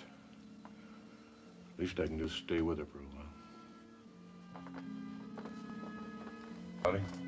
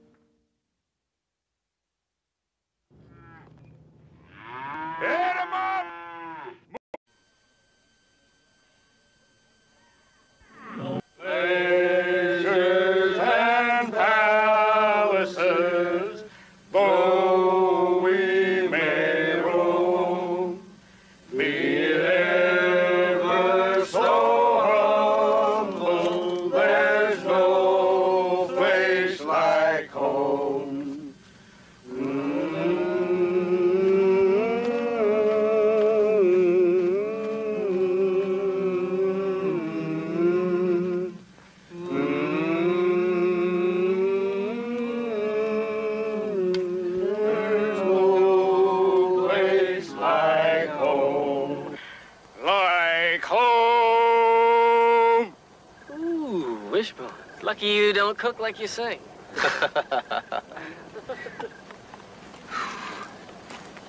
Get you some more coffee, boss? No, thanks, Jim. Oh. Give me that plate. I'll get you some more beef. What's the matter with you, Jim? Let me go check the night guard for you. I've already done that, Quint. Oh, I just thought. Uh, here. Light? Mine ain't broke yet. Yeah. All right. What is it? What's what? What are you all staring at me for? Who's staring? Well, I just want a couple of days off, that's all. Oh? Right here, now? Sun up. It's no bother. What was you planning to do? Make camp here and rest up a spell? No, uh, well, it appears to me it doesn't matter what I do as long as you spare me the time. Is that all you're gonna tell us? Do I get the time? Say, uh, Pete, uh, where's the nearest town around here? Hondo Seco. Good looking girls there? Yeah, I was through there one time. It's pretty good. Uh, I guess they haven't changed much. Oh, you can't tell about a thing like that. Man wants to check up, can't much blame him. That's right. Boss, I'm gonna ask you once more, do I get the time or not? Well, oh, Jesus, when do we have to pick up that new Remuda? Tomorrow, Senor Boss. How bad we need them horses? How good is a drove on foot? See, it's pretty bad, Jim. I'm afraid I couldn't rightly spare you. We gotta pick up that Remuda near Hondo Seco. I'll tell you this, Mr. Favor. I don't want to quit the drive, but I sure will if I have to. Say, your business must be pretty serious. Wasn't one asked. Hey, Jim. Hey, take it easy. Look, suppose you uh, go along with a horse party, be a wrangler for a day or two. That ought to give you enough time to take care of your business, huh? Well, I'd stop over in Hondo Seco, maybe overnight, huh? Well, I don't think you're going to have to twist any of the other wranglers' arms to talk them into that. No, I don't know. I... No, that's the way it's got to be. How many men are you going to need, Jesus? Three would be enough, Senor. I say, uh, as, well, as Quince has some business there, uh, somebody's got to take care of those young lovelies. Yeah, but I better go along because uh, I've been there before and I could tell if the girls are deteriorating in here. All right, Jesus, there's your party. You leave in the morning. We'll wait for you at the river. Oh, and Jim, whatever your business is, good luck. Thank you. Say, Jim, uh, maybe she's got some friends, huh? Yeah. Let me tell you something. When we get to Hondo Seco, you go your way and I'll go mine. You understand that? Well, now, you ain't being too sociable about the whole thing. I don't aim to be. This is no concern of yours. None of you. Yeah, I think he means it.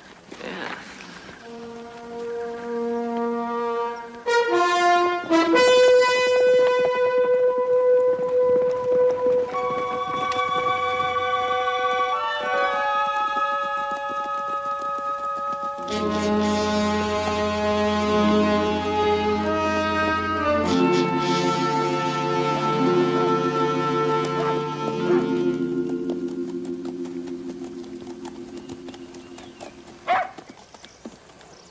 Hondo Seco is sure a uh, lively town.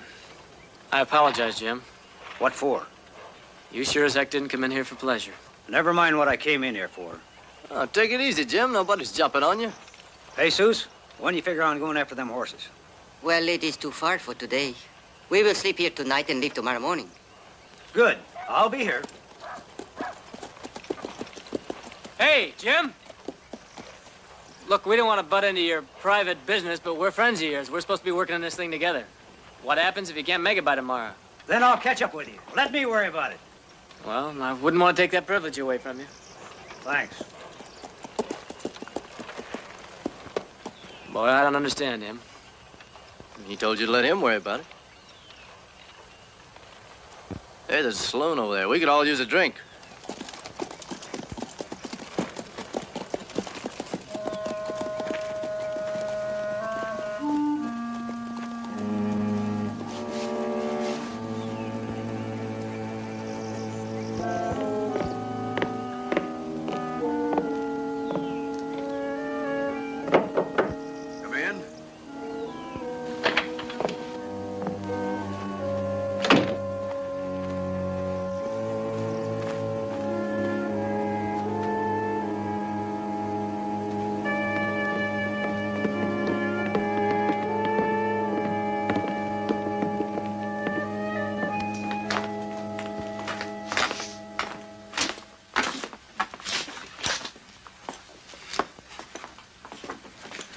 Ain't you got no one to gamble with? You fellas are new in town, ain't you? Yeah, we just rode in. What'll you have? I like some whiskey. What do you have? Some tequila? Whiskey, por I'd like favor. to watch her. no, whiskey out. Leave the jar. We'll probably want a second one. oh, no. You're not getting drunk in here.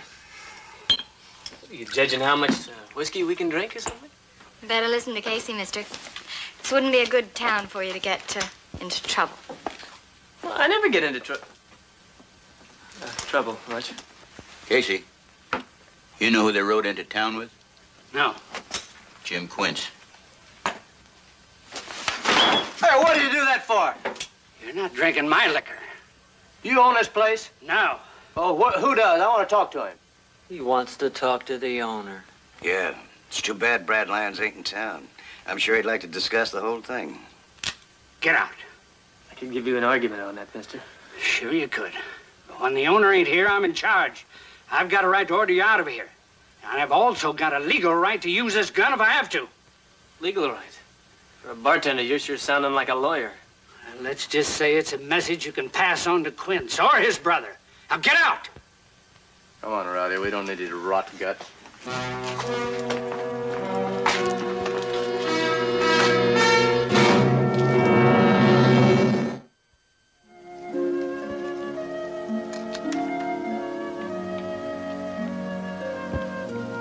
Geraniums. Small, delicate things. They'll grow in Texas, but I always feel they don't really belong here. Oh, Matt, you ain't changed much in six years. Has it been that long? Yeah. We should see more of each other. Well, uh, drovers and judges don't travel the same road much, you know. I suppose that's true. Sit down. At any rate, you're here now. Be able to stay for a few days, won't you? Oh, well, I'd like to, but uh, I've got to get back to the drive tomorrow. Yeah. Uh, tell me, Matt, how's uh, how's Joanna? I'm not very pleased with my daughter. She could always twist you around her little finger, couldn't she? Well, she's my favorite niece, you know, and come to think of it, the only one I've got. I'd be happier if Judge Quince, dinner is nearly ready. my brother's eating with us. Oh, thank you. Will you show him where to wash up, Hattie? Yes, Judge.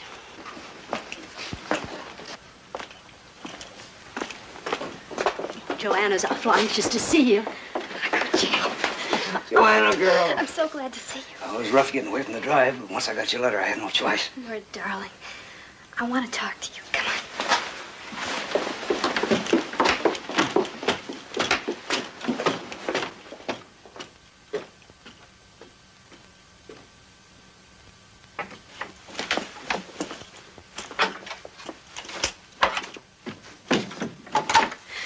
How long can you stay? Well, tomorrow morning. Well, I have to go out with the other drovers and pick up some more horses. Then it'll have to be tonight. What will? Now, I know your letter said you needed help real bad, but help for what?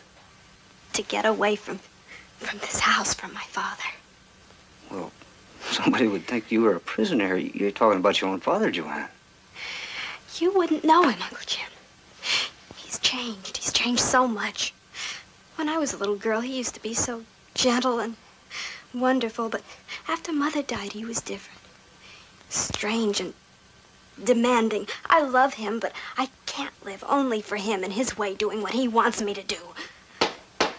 Joanna, Yes, Father? dinner in five minutes. I'll be there. Now, look.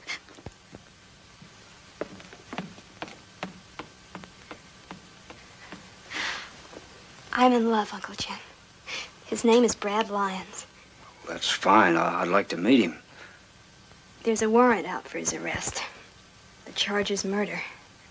Brad owns the saloon next door. He's a gambler. So Brad and I were running away to be married. We rode out at night. Father sent some men after us. They caught up with us a few miles outside of town, ordered us to stop. Brad refused. There was gunplay. Brad had to fire back in self-defense. But one of the men was killed. Oh, I've been around long enough to know the law ain't always right. But Joanne, There aren't any buts, Uncle Jim. They had no legal right to chase after us. We weren't breaking any laws. It was self-defense, why did he run for it then? They said it was murder. Besides, why do you think they call my father the hanging judge? It wouldn't have made any difference if it was self-defense or not. Father would have pronounced sentence. The only sentence he ever passes, death by hanging.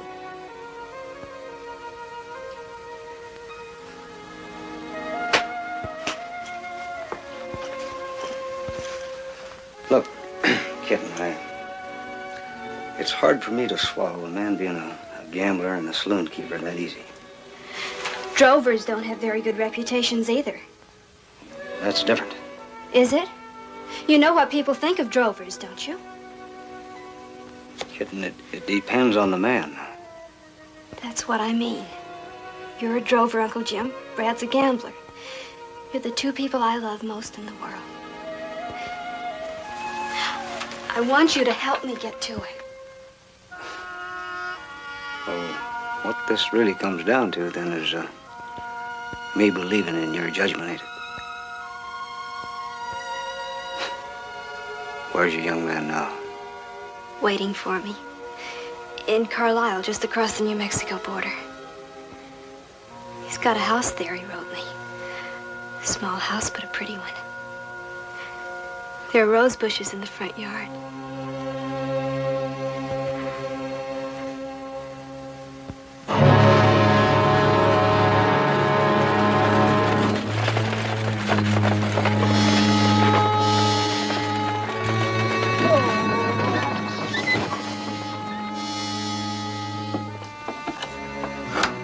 Wake up, Mr. Lyons.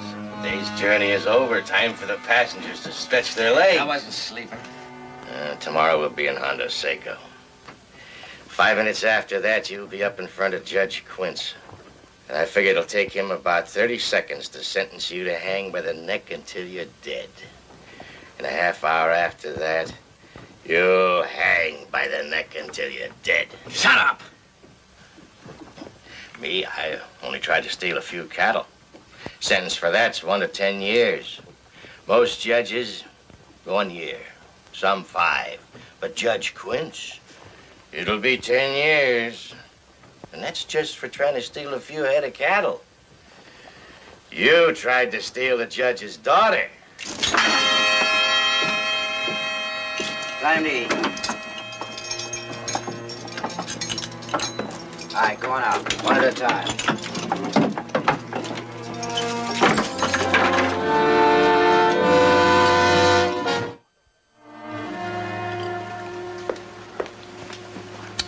Hondo Seco's changed a lot in the last six years since I took office. It was wide open, riotous, disorderly. Since then, it's become a law-abiding town. How many hangings did it cost? I don't make the laws. No, but you pass sentence, and always the most severe sentence you can. I see no reason for going easy on lawbreakers. Have you ever heard of something called mercy? Men who abide by the law don't need mercy, and the others don't deserve it. Well, Matt, a man can make a mistake. And I do my best to see that he has no chance to repeat it. Father, you're a bitter, bitter man. Don't you see? When you use the word of the law without heart and compassion, that's that's the worst kind of law breaking. You may need mercy yourself someday. How can you be so sure that you'll never make a mistake? Go to your room.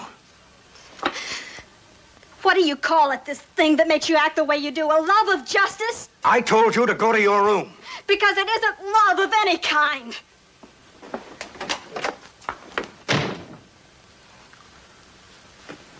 Matt, I, I remember when you became a lawyer. Was a long time ago. Yeah, I remember something else, too. And uh, I guess the, the reason I remember it so well is because I always looked up to you. The, uh, I couldn't read a book plumb through. I was too dumb, I guess. Just being a drover was about the best I could hope for. But uh, you were different. Maybe that's the reason I remember it so clear. Remembered what? Well, it was something you said uh, on your first case.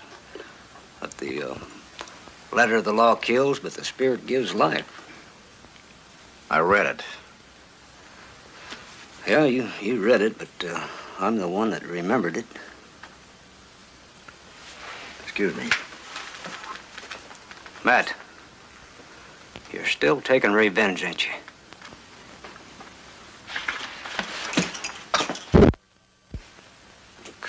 No matter how many men die, none of them can bring your wife back.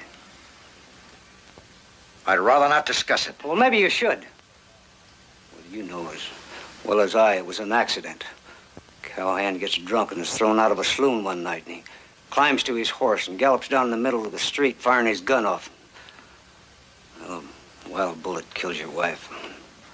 It was a shame, Matt. It was a dirty, low-down shame, but it was an accident. She was 23 years old when she died. With a drug's bullet in her. When you talk to me of mercy, I spoke with no mercy. It was the daughter of the woman who was killed, remember? Joanna's a child. She knows no better. How much better do you know? You're a guest in my house, Jim. Are you staying the night? Well, uh, just how welcome would I be? That's for you to decide.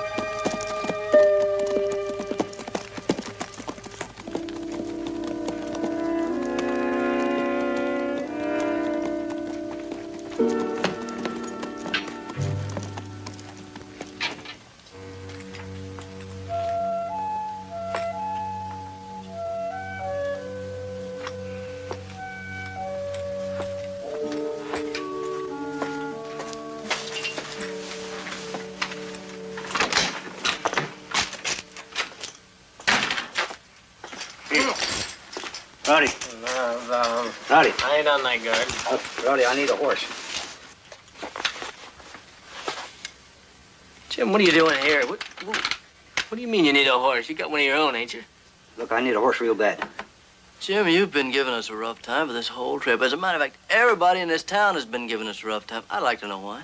Oh, wait a minute, Pete. Uh, give him a horse. If he don't uh, want to tell us what his business is, we don't want to know about it. This is a family affair, and tell you the truth, I'm not too proud of it. Look, we ain't pressing you about it, Jim. I owe you something. I'll tell you this, my brother's a judge in this town. Well, what's that to be ashamed of? Have You ever heard of a hanging judge, Pete?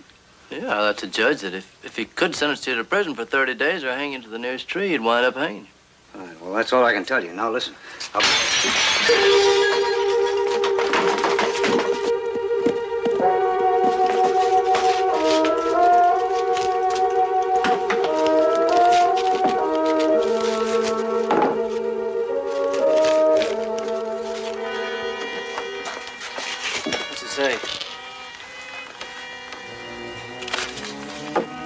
Judge Quince we got his daughter in a place he won't ever find her.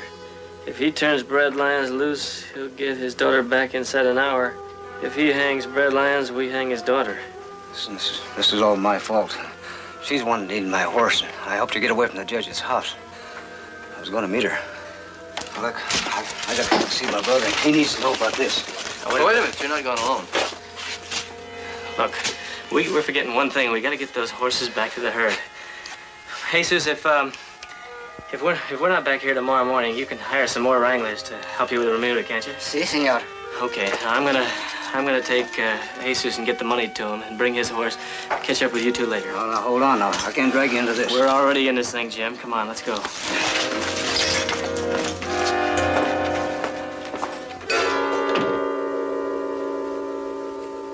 So I was going to take her to Miller's Crossing, put her on the stage for New Mexico, and guess that's where Brad Lyons was waiting for. Brad Lyons is in a prison wagon on his way here. Why didn't you tell Joanna that? Whatever you might think of me, Jim, you should realize one thing. I love my daughter. I wanted to spare her as long as I could. All you got to do is send out orders and have this man released then. I can't do that. The man's a prisoner. He's being brought here for trial on a charge of murder. What about Joanna? She was safe here, Jim. If you hadn't interfered, she'd still be safe. Well, you got a right to say that. I did what I thought was right, but it didn't turn out that way. We ain't got time to hum-haw about now. We, it's Joanna we've got to save. I cannot release a man charged with murder. Even if she's killed? That's a bluff. I don't believe they'll do anything to her. You mean you're hoping? What kind of hope is that? I won't think about that. You won't think about that. But you just said you loved your daughter. I'm a judge. I swore to uphold the law. I've done that here, Jim. The people have hated me for it. They still do, but this town is a decent town. There's no violence in the people anymore. I've taught them to respect the law. I can't break it, for anyone's sake. She's our own flesh and blood. I know that. You know it. But you don't feel it. Not the way a human being should. Do you know how many killings there are every week in the West? Every day, every hour? I've given my life to fighting against the rule of violence. That's your choice. But you can't give Joanna's life. When a general leads troops into battle, do you think he can allow himself to worry about the number of men who must, who will die in that battle? He might be a better general if he did. Why do you carry that gun strapped to your side? I'll tell you why. Because otherwise your life wouldn't be worth a spent bullet. Because otherwise you couldn't drag your cattle a hundred miles along the trail without being killed yourself and your cattle stolen. There's only one way to stop that. The law must be enforced, ruthlessly, and without exception. Maybe what you say is true, but Matt, this is your own daughter. Yes, my only child. The daughter or mother that I love more than anything I've ever loved in this world. As a father, I do whatever that note asks me to. But as a judge, I cannot deal with criminals. Matt, send somebody out to that wagon. I shall. Because I don't think the men who are holding Joanna will stop at that. I think they'll try and attack the wagon. Of course I'll send someone out to the wagon. Additional guards. To make sure that Brad Lyons is brought to trial in the town of Hondo Seco and pays the penalty that the law imposes. Matt!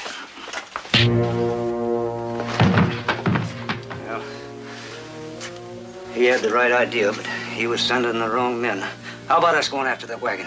Well, it shouldn't be too hard to find. We know where it's coming from, where it's coming to. Let's find it.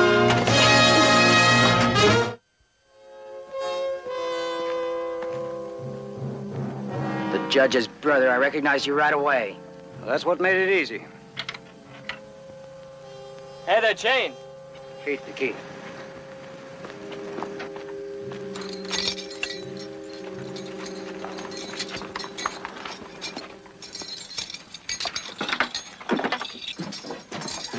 Two of these Brad Lyons. I am.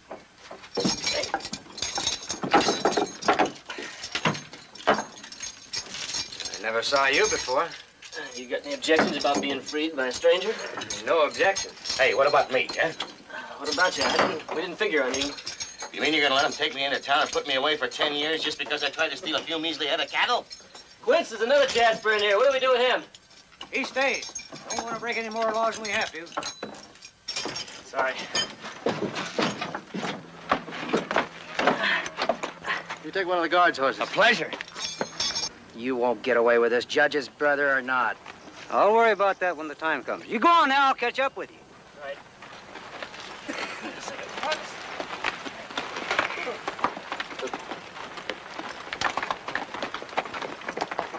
All right, we're going to get in that wagon. One at a time when I tell you to. Come on, come on.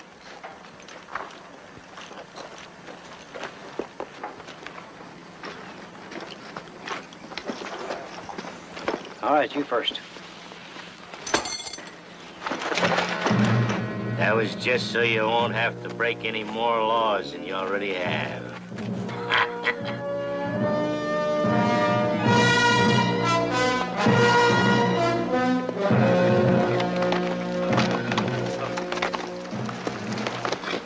There's no sign of Quince.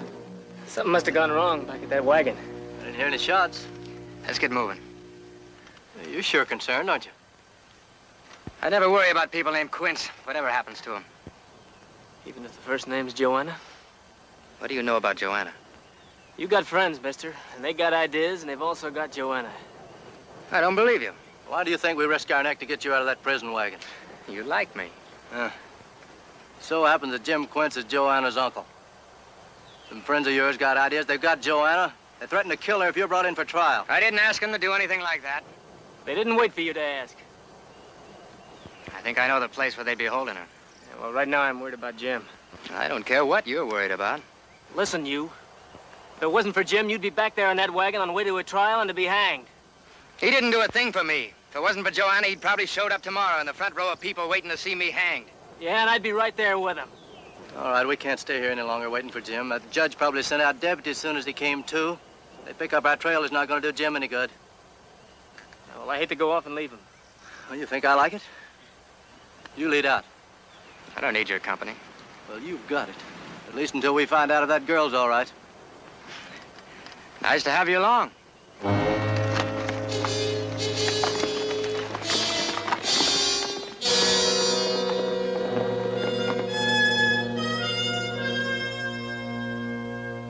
You want some of these frijoles? No. Yourself.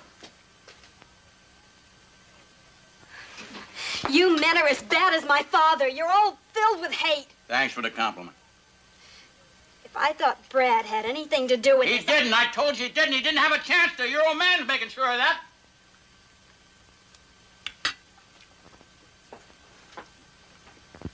There's one difference, though, that you better bear in mind. He likes what he's doing.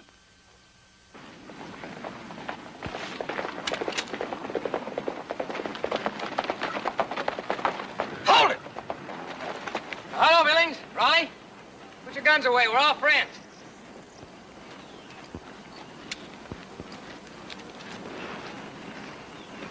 I sure am glad to see you, Brad. So am I. Especially since it's not through the courtesy of Judge Quince. Didn't he turn you loose? You ought to know the good judge better than that. Yeah. Uh, how's everything? Joanna? Fine. Uh, right into town. Tell Casey if he still wants to buy the saloon, it's going for a good price today. Right. Uh, one more thing. Bring back a couple of good, fast horses, will you? I'll do it.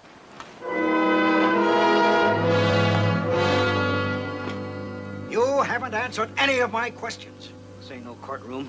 Wherever a judge is presiding, that's a courtroom. Jim, you've got to tell me where your men took Brad Lyons. And I've told you, I don't know. You and I, we've traveled different roads.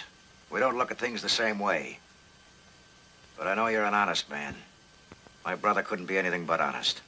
Your brother could be anything, but it just so happens he is honest, Matt. The only thing is I had no choice. I couldn't let him kill Joanna, even if it meant breaking your law. Are you sure by doing what you did you saved her life? The note said if Brad Lyons was freed, Joanna'd be released in an hour.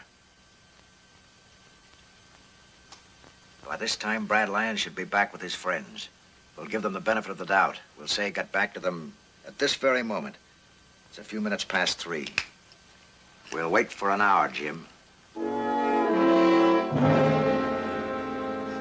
Brad, you wouldn't mind if Bob here'd go outside and kind of keep his eyes open, would you? The judge is bound to have some men out looking for you by now. All right, Bob. Miss Joanna, we better get going. We'll take you back to your father now. Brad, I don't want to go back. Well, that was the deal. If Brad Lyons was turned loose, why, well, you're supposed to be returned to your father within an hour. Rowdy and I are kind of anxious to get back to town, if you don't mind. I appreciate what you did for Brad, but I'm not going back. Well, that was the deal. I'm calling for a new deal. Hennigan, they don't need their guns. Put Your hands on the table, boys. Well, aren't you going to say something about this, Joanna? I'm going with Brad wherever he wants me to go.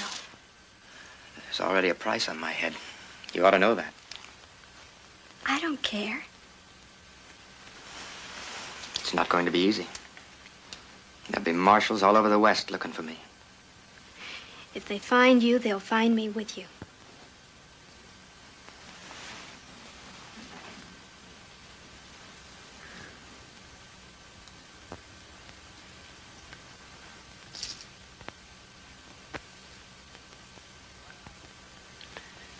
Joanna and I won't be able to leave till nightfall. What about your Uncle Jim, Joanna? As far as we know, the guards took him, taking him into Hondo Seco as a prisoner. Brad? There's nothing to worry about. The good judge is not an easy man to get along with, but there's nothing he'd do to his own brother. I've given them an hour. More than an hour. You see, Joanna? I told you you can't deal with criminals. You broke the law. You set a prisoner free. And for what?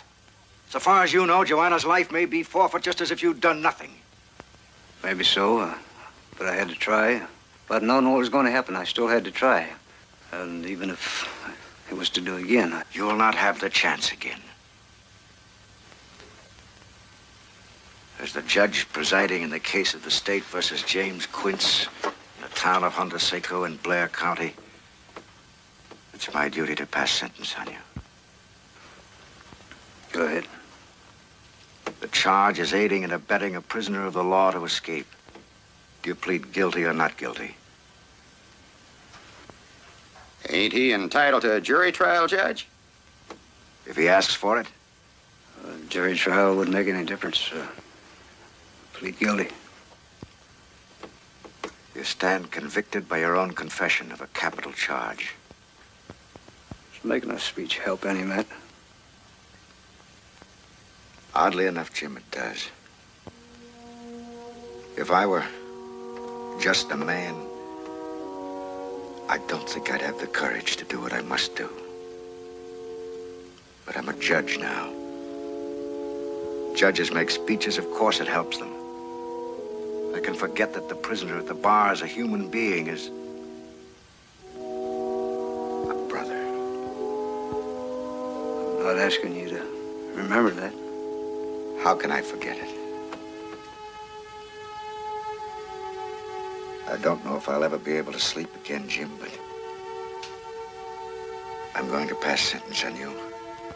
The same sentence I'd pass on any man standing before me charged as you're charged. Prisoner is sentenced to be hanged by the neck until dead.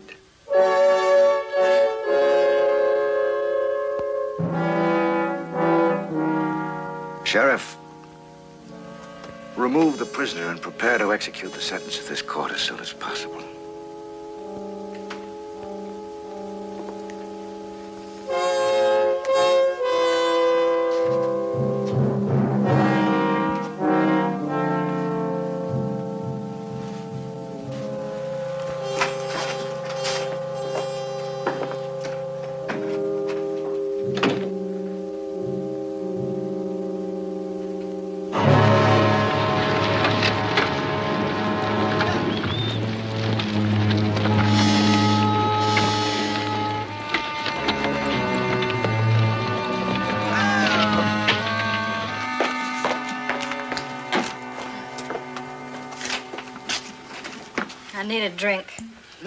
Starting on the bottle, are you? It's the side of that gallows they're dragging into place outside. It's the thought of what's going on out there that's making me sick. One brother hanging another. It's the difference. They're both Quinces, ain't they? Are you ready to go, Casey? Yeah. Lily, I got a little errand to run. Now, there won't be any business for the next couple of hours, so as soon as you finish that drink, shut the front door, will you? Yeah, how soon are you going to be back? As soon as I finish my errand, won't be long.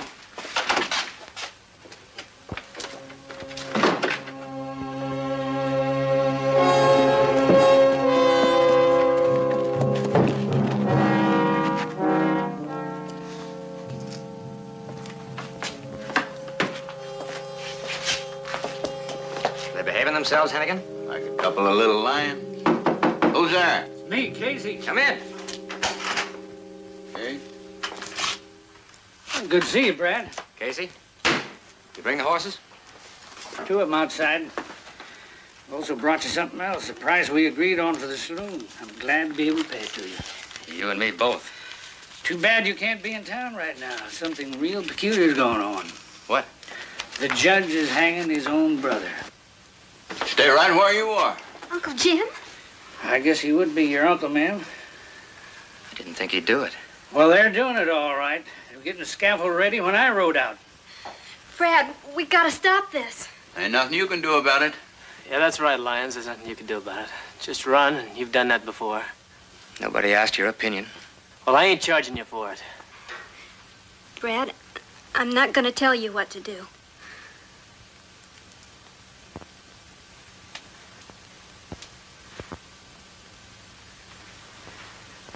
Give their guns. You don't know what you're saying. You're running your head right into a noose. I know what I'm doing. It's my neck. All right. There you are, boy. Come on, Case. You want to ride into town with me? Let's go. Go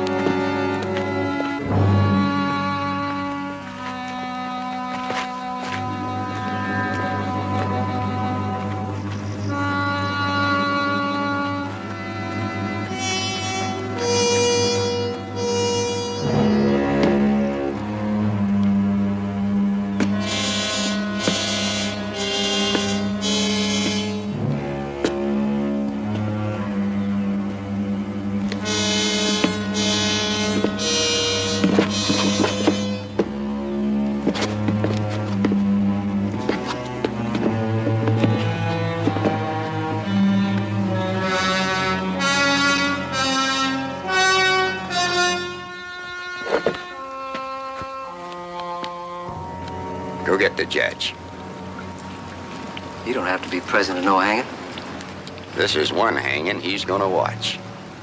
You do like I say.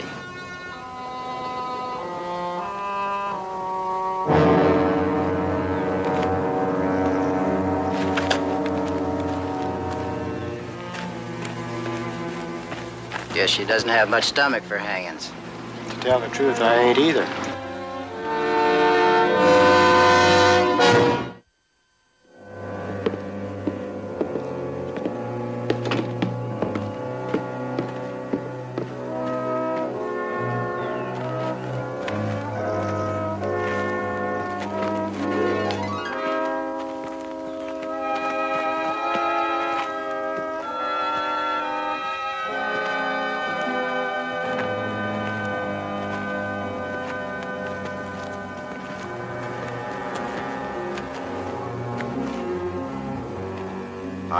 Something for this. I got no doubt you'll repay me. You can still stop this. Sentence has been passed. Then take a look at your brother before we drop him through the trap.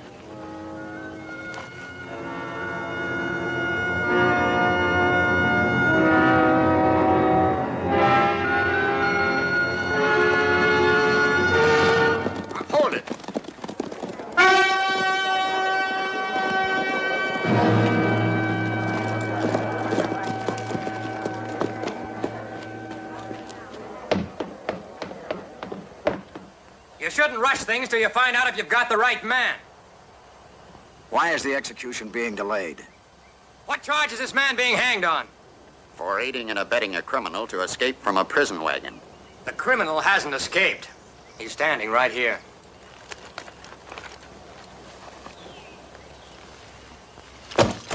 He's right here, and a prisoner.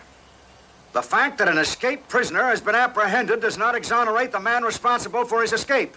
There's not enough rope in the whole of the West to satisfy your appetite, is there?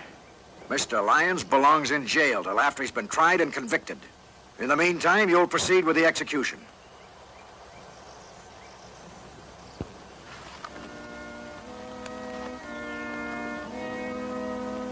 You be your own hangman, Judge.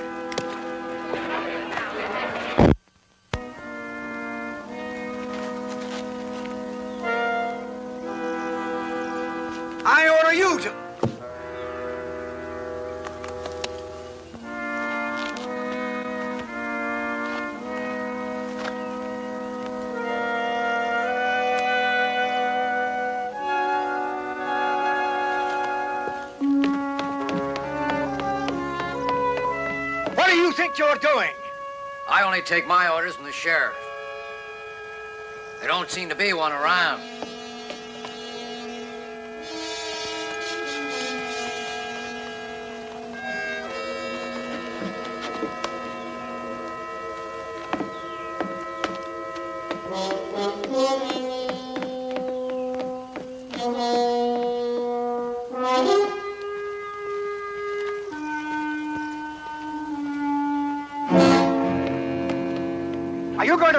Tolerate this open breaking of the law? Are you going to tolerate murderers running loose among you? I have two fast horses and a woman who loves me, ready to ride away with me. Away from this town. Away from the poison sickness you've brought to it. If I was a murderer, would I come back here? If I was a murderer, would I have cared how many innocent men you hanged? Are you denying that you shot and killed a man two weeks ago? I pulled the trigger, Judge Quince. You fired the gun. If you hadn't sent that man after me... You were stealing my daughter from me.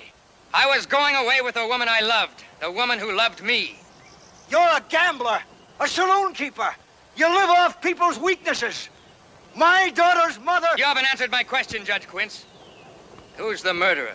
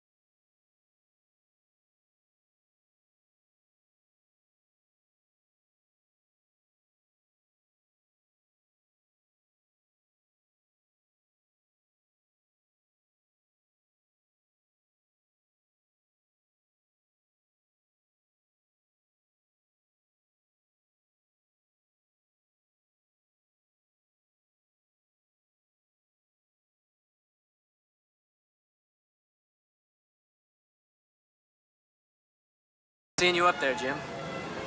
I didn't like being up there, Rowdy. Brad, can they still do something to you? I think the charges have been dropped.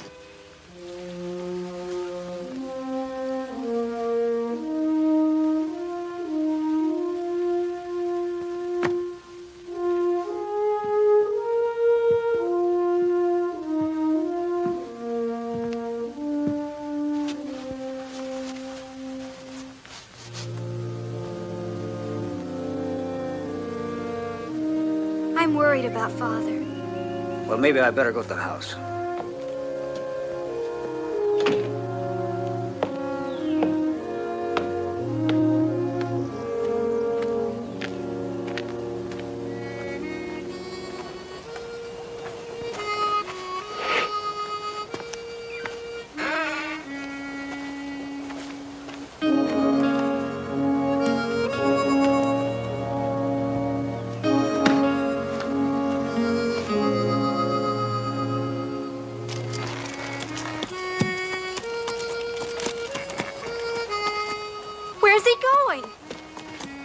Let him go, Joanna. We're different men, him and me, but we're still brothers. When I hurt real bad, I, I just want to be left alone. And afterwards? Afterwards, well, he'll go to another town. And after a while, he'll hang up his shingle and start practicing again. Well, that's his life, Joanna. Maybe he'll remember. Second Corinthians, chapter 3, verse 6. I'll pray to God he does.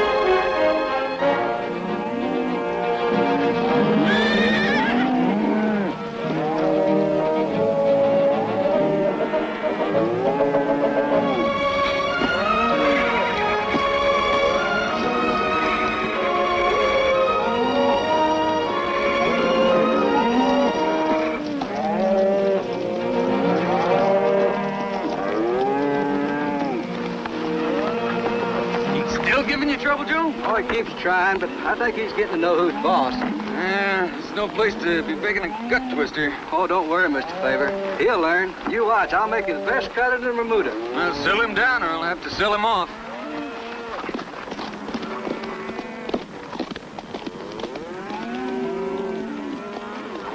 Any sign of Craddock's herd yet? No. Pete's out looking for him now. What happens if they don't show up? He will. Told me in Laredo he'd sunk every last cent he had into this herd. If we don't pick him up, he'll go bust. He ain't a cattleman, then, huh? Uh, just fly-by-nighter, picking up the stock from the smaller spreads, gambling on good prices in Abilene. Maybe he ain't worth waiting for. There's Pete now. He'll make up our minds for us. Good! Hold him up!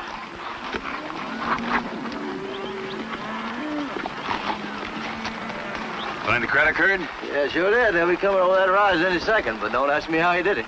What do you mean? No use in me telling you. You wouldn't believe it unless you saw it.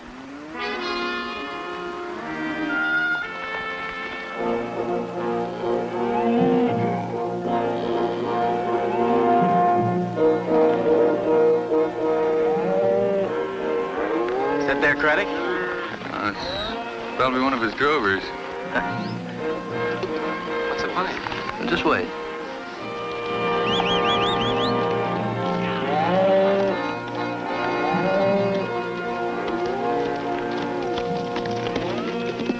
Howdy.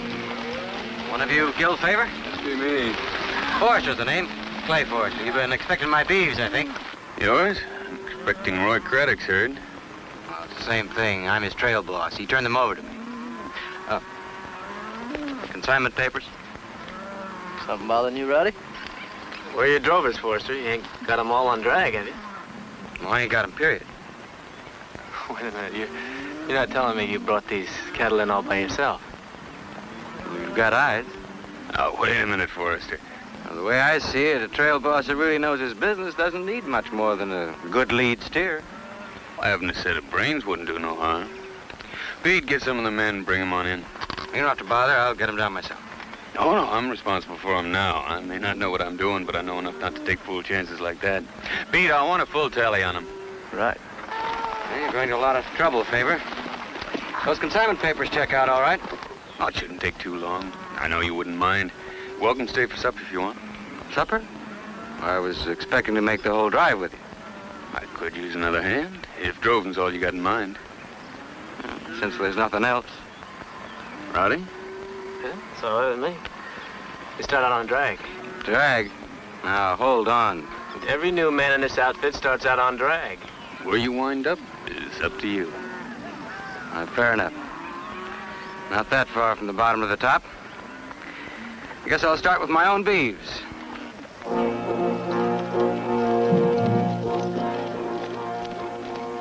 Think he's half as good as he thinks he is? One way to find out. Work him.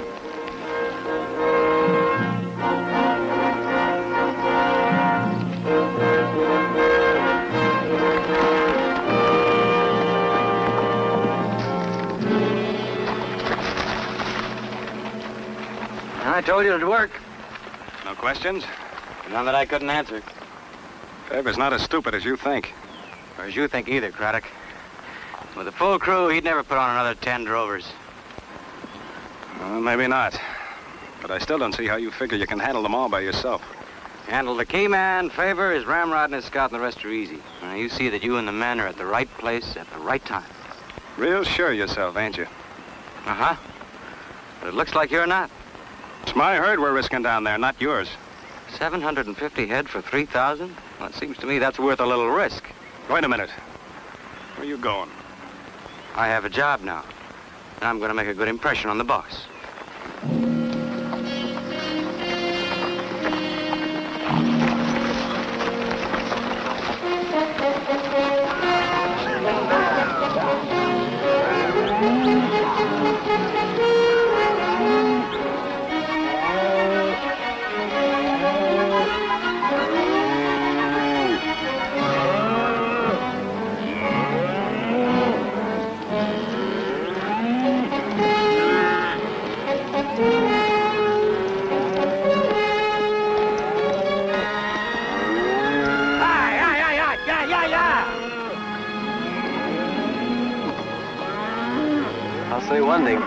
Do know what he's doing. Yep. He do. That canyon wall runs like this. And from what I saw, we ought to head him north and go right through that gap over there. Makes sense. Well, not much. You could save yourself a day, maybe more. By swinging the herd. Cutting south, following the creek bed. Pete? Well, there's a creek over there, all right, but it's running full of water when I saw it. Well, it rained up in the hills last night. That's just the wash coming down. Be hardly a trickle by tonight. Any quicksand? You don't have to worry about that. Well, maybe it might be better than scaling those canyon walls. So you might follow that creek all the way through, Pete. Take a look at the valley on the other side. It might make good bed ground. Anything else I can do while I'm up? No, that'll be all. It's, uh, it's a long ways from drag up to that creek. No, I had some off time. I took a little ride to wash the dust off. Guess maybe uh, you know this part of the country too, huh? Yeah, maybe. Rowdy says you're ready to move up. Why don't you relieve Quince at flank? Anything you say. But you'd be real glad to get out of that dust for a while. Well, there's no dust at all up at the point.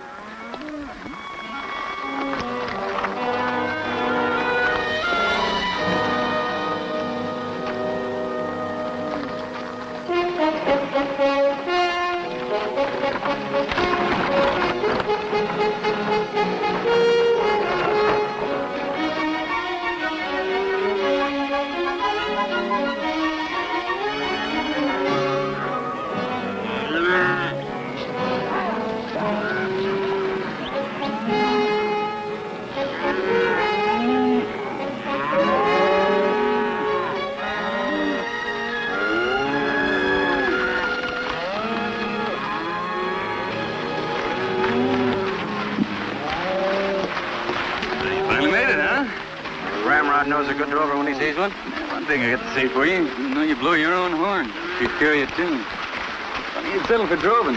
Oh, I haven't settled for anything yet. Just happens to be what I'm doing right now. What before? Oh, ranch hand, wrangler, freighter, scout.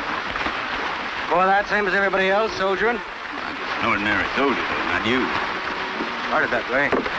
Finished up a major. Ah, that figures. And then right back to nothing. No more war, so no more commission. You're good enough to get killed, but not good enough to keep. Except maybe as a corporal. And you don't like riding drag? Or anybody. Plenty good chances after the war. A lot of good majors, too, just like me. But the chances were all at the bottom. Kind of drifting any better? I never can tell where I'm going to wind up. For the moment, right here. Yeah, I'm not riding drag. You're not at the top, neither. It's kind of crowded up there right now. Well, it's not so far from the bottom to the top. Just those last couple of steps that is so rough.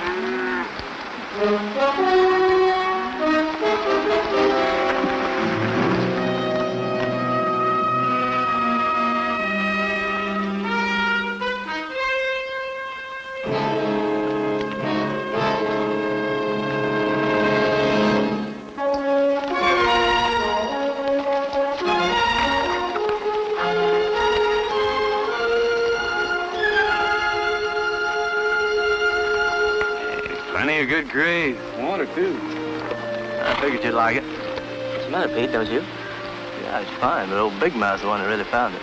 Forrester, huh? Got a little sour apple stuck in his craw. No, oh, it ain't that. It's just, well, he ain't just half as good as he says he is. He's about twice. Yeah, I am getting kind of tired of that fella. Well, he's causing that much trouble now. No, it's not that. He's doing a good job. One of these days, I'm gonna knock that block off his shoulder. It may not be that easy. Seems like it's nailed on. Well, I guess we'd better get bedded. Suppose she needs help? I'm sure you hope.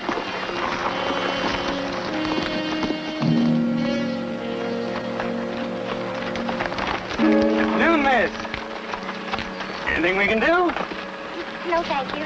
Easy.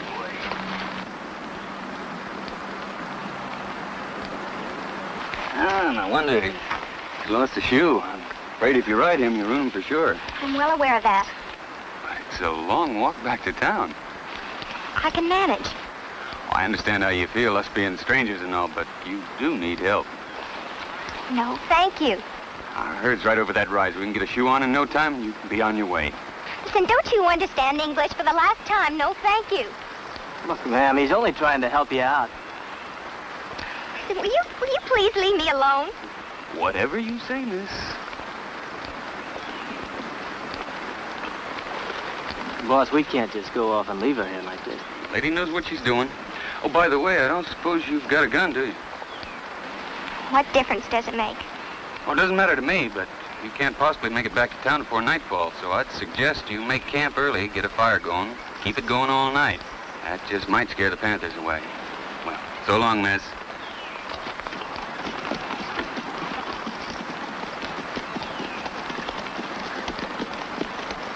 Well, she doesn't know what she's doing. Yeah, but there are laws against kidnapping. Yeah, but... Oh, please, wait.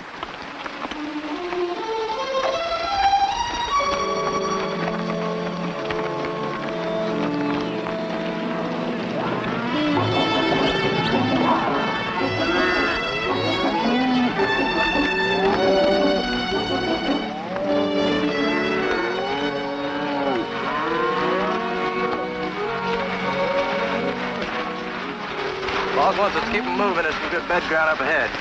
Oh, you found it, huh? Yeah, I found it. Looks like that's not all you found. That's all you're concerned with. Oh, neighbor's personal property? He's just lending her a hand. Good. You tell him I'll be around later to lend a hand to myself. You just do your job.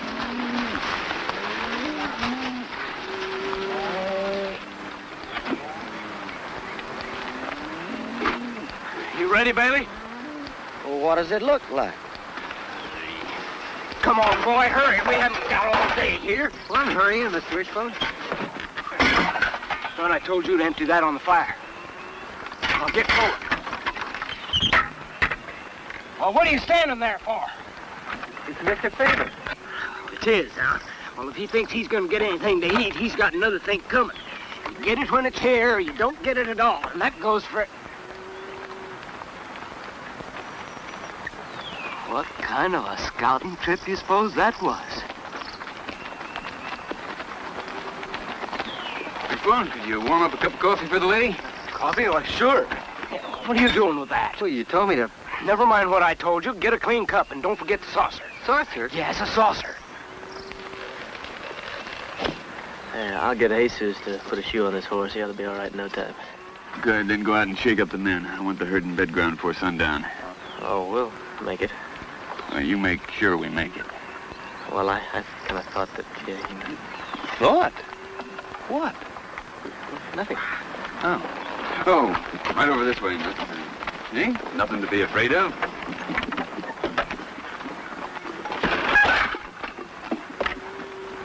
Give me.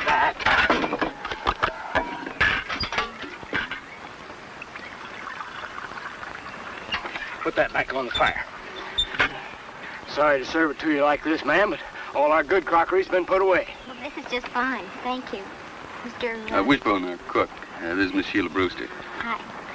I do, uh, may I get you something else, ma'am? Maybe a sandwich or something? Oh, no, no, this is just fine. Thank you. Maybe you could try getting me a cup of coffee. I'll see what I can do. Oh, you just move out in this area, Miss Brewster? Well, no, I'm visiting friends. In town? Mm-hmm. Uh, probably worried about you. Well, yes, I, I suppose they are, so, um, as soon as you can get that shoe on my horse, I'd... It'll just be a few minutes, then I'll uh, have a man going to town with you. Oh, oh, no.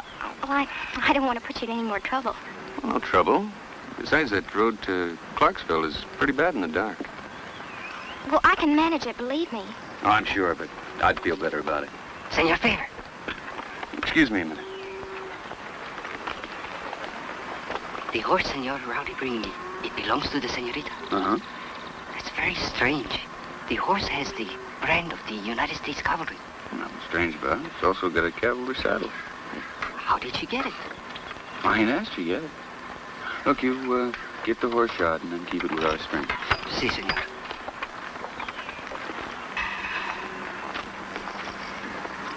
Will it be much longer, Mr. Favor? No, only until you level with me, Miss Brewster. Level? I... I don't know what you mean. About where you got that army mount. It, it's the horse they gave me. Your friends in Clarksville? Yes. Yes, the only trouble with that is there's no such place as Clarksville around here. Listen, you have no right to question me. Will you, will you just give me my horse back and let me go? Look, I don't want to have the army or the law down on my neck. I'll let you go when you tell me where you got the horse and what you're doing out here. Well, will you just let me go and forget you ever saw me? Sorry, Miss Brewster. Well, you can't keep me here. What say I take you into town then? The sheriff? You wouldn't dare. You haven't given me any reason not to. Oh, please, Mr. Favor, I beg you. All right, here's your coffee. No, no, Wish. After all the trouble I went to... Hey, stay back, Mr. Favor. Now, look, put that down before you hurt somebody, please. I'm warning you. Oh, Look out, boss. It's worse than if she knew what she was doing. Yeah. Please, Miss Brewster. My horse, Miss, your Favor. I just want my horse, and I want to get out of here. Are you any good with that, miss? I hope you are, because I'm going to give you three to hand that back. Otherwise, you'd better start shooting. Well, hold on, hold on now. It's a shame to put a hole in such a pretty face. One, two... No! I... Leave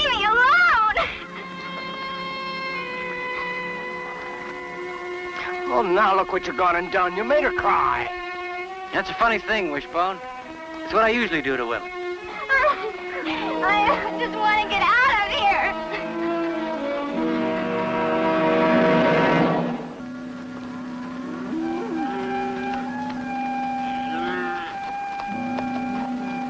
Looking for somebody, Clay? Oh, yeah. You, I'm, uh, hungry. Now, go ahead. You're relieved. Thanks. Oh, wait a minute. Huh? Boss wanted me to tell you. When we start moving out again, you'll be working with me. With you? You mean scouting? Yeah, with both of us working out front, we can cover more country and find the best trail in less time. Makes sense. Hope you don't mind. I don't mind. It's my idea. I'll, uh, I'll see you later.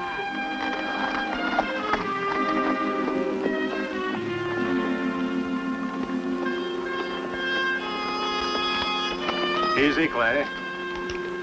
Just some old friends. What are you doing this close to the herd? It's been a long time between visits. I haven't had a chance to get away. That's why we're this close. And sticking our necks out. My men are itchy. They're getting tired of just sitting around doing nothing. Maybe they prefer sweating and eating dust all day, pushing a herd. Yeah, now that you mention it, they would. Especially if it's theirs. Why the stall? It's the way we figured it. The herd's in the right place. And I'm the one who got it here. I'll say thank you when the whole job's done. I heard a lay over in this valley for a spell. I'll uh, talk the trail boss into it. What's the advantage in that? There's a town beyond the ridge. The drovers will be let loose on it, half crew at a time. We'll be watching for them.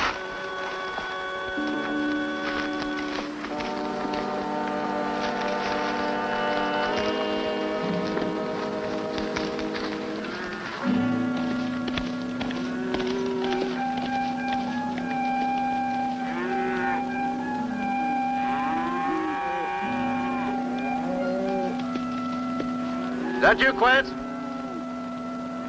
Quince?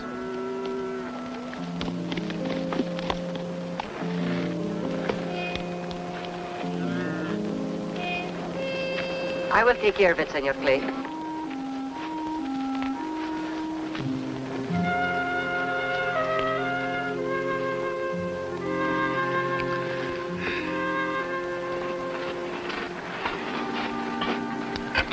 Tried, Mr. Favor, honestly. Coming out west, marrying an officer, living in a camp. It all seemed like the most wonderful and exciting dream come true. I don't know why I'm telling you all of this. No, maybe if you'd told somebody else sooner, you wouldn't even be out here now. Well, what happened to change this dream of yours? Oh, I don't know. Everything seems so different. The people, the kind of life, so crude and harsh. Well, it's a new country. It's bound to be a little crude. Mm, Perhaps, but I'm not used to it. What about this fiancé of yours? Uh, you find him any different? Oh, I suppose not. Oh, he, he helped me. He, he, he made things easy for me, but he didn't understand. Understand what exactly? I was lonely and frightened, and I needed him so much, but he was never there. I hardly had a minute with him. Well, you ought to know an army officer can't call his time his own. Not even for his own wedding. The day before we were to be married, he went off on some kind of patrol. I didn't even unpack my own wedding dress. Well, patrol doesn't last forever. And I don't imagine he's having the best time in the world. How do you think he's going to feel when he comes back and finds you gone? Well, he'll be hurt, I suppose, but he'll get over it. And it'll be better this way. For him or for you? For both of us. Don't you see I can't marry him, feeling the way I do about his kind of life, hating every minute of it? I'd make him miserable. Seems he at least ought to have a chance to have his say. What's the use? He can't change the way I feel. So I'd appreciate it if you'd let me go.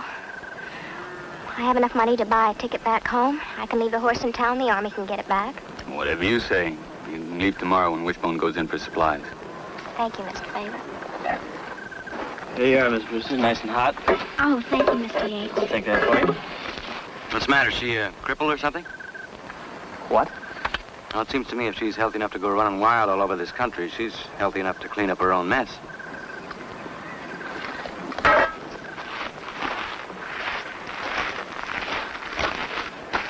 Maybe you ought to learn to keep your big fat mouth shut.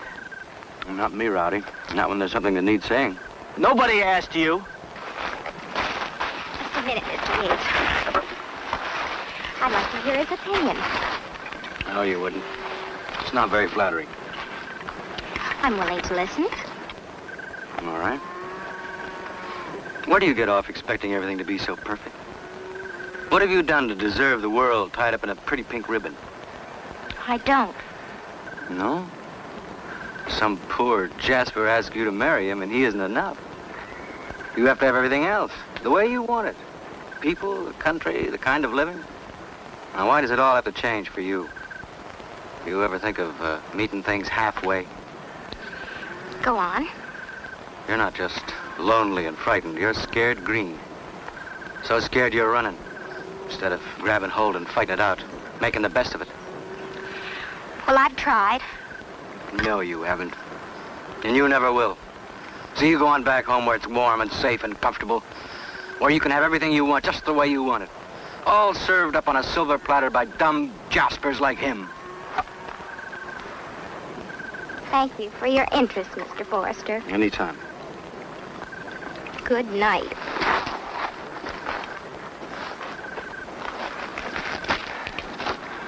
You know, I sure wish you were stupid or didn't know your job or something.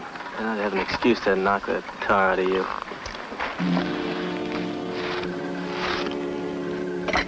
Say, that was uh, quite a speech, Clay. I never thought you'd get so head up about anything. She rubbed me the wrong way. so I noticed. You know, it's a funny thing now, how people most hate in others what uh, they most hate in themselves.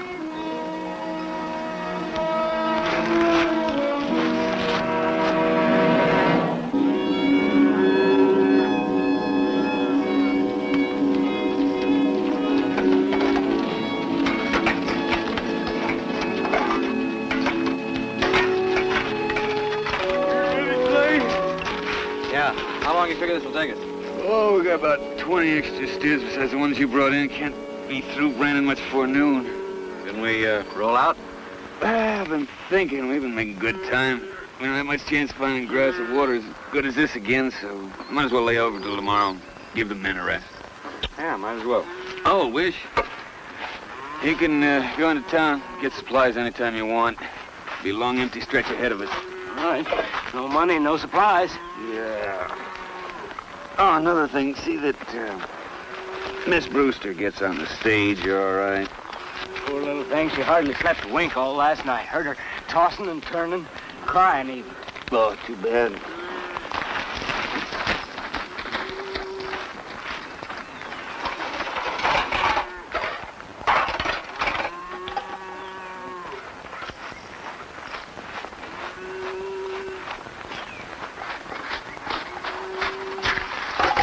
And get 'em clean and be quiet about it. Don't want you waking up that little lady.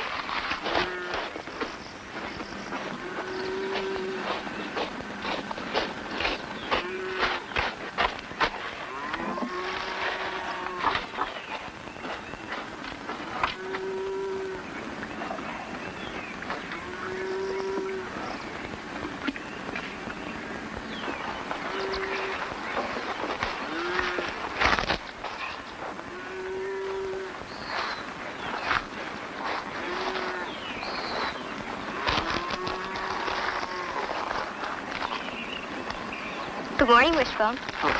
Good morning, miss. Did you have a good night's sleep? Yes, thank you. Fine. You just sit right down and I'll rustle you some breakfast. Oh, no, you don't have to go to any trouble. Oh, it's no trouble at all.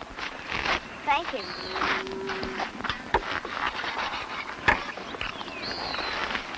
Beautiful morning, isn't it? Isn't it? Is, uh, Mr. Favor around? No, he just left out to do some branding. But he told me to be sure you got on the stagecoach. Uh, I'll be ready in about an hour. Well, there's no hurry. Well, you just let me know when you're ready, ma'am. Uh, buttons are at the bottom of the box, but you don't have to do it, you know. Well, I want to. Fine, you just go right ahead. Uh, you like it crisp? Yes, I love it. Fine. How about a fresh horse, Jesus? Any one of these, Senor Clay?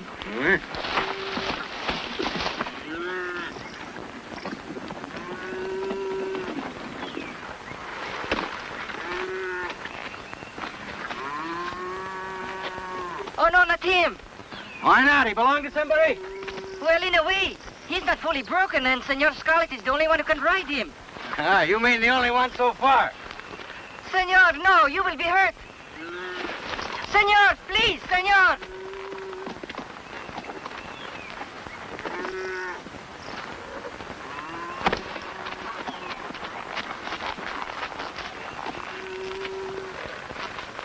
Who's that saddling my horse? The new drover, Senor Forrester.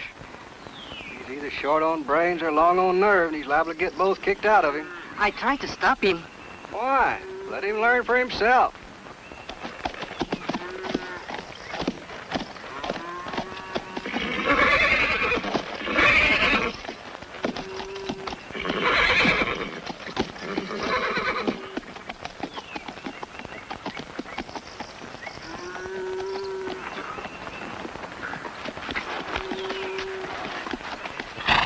Good horse. Too bad nobody's broken him in proper.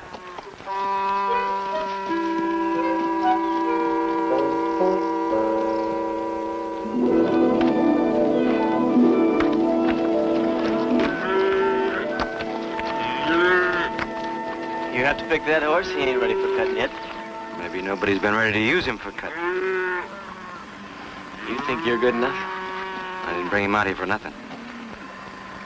Maybe a little showboating, though, huh? Any unbranded strays left in this bunch? No, I think we got them all. Let's go. Hey, there's one. Hey, come back here.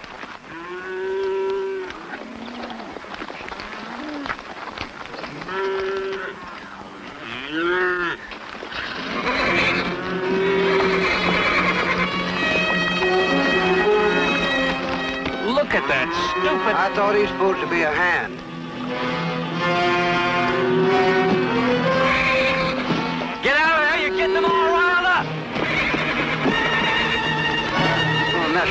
Himself a hip pocket full of horns.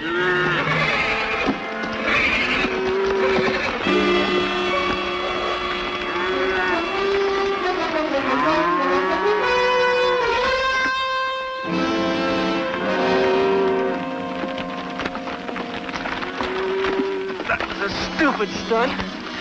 You don't take any prizes for brains either. Look, I don't like digging graves, and I don't like losing good hands. Well, thanks anyway.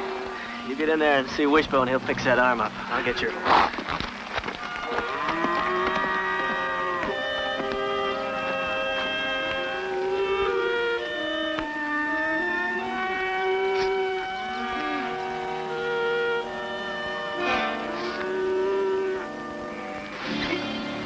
Just a scratch.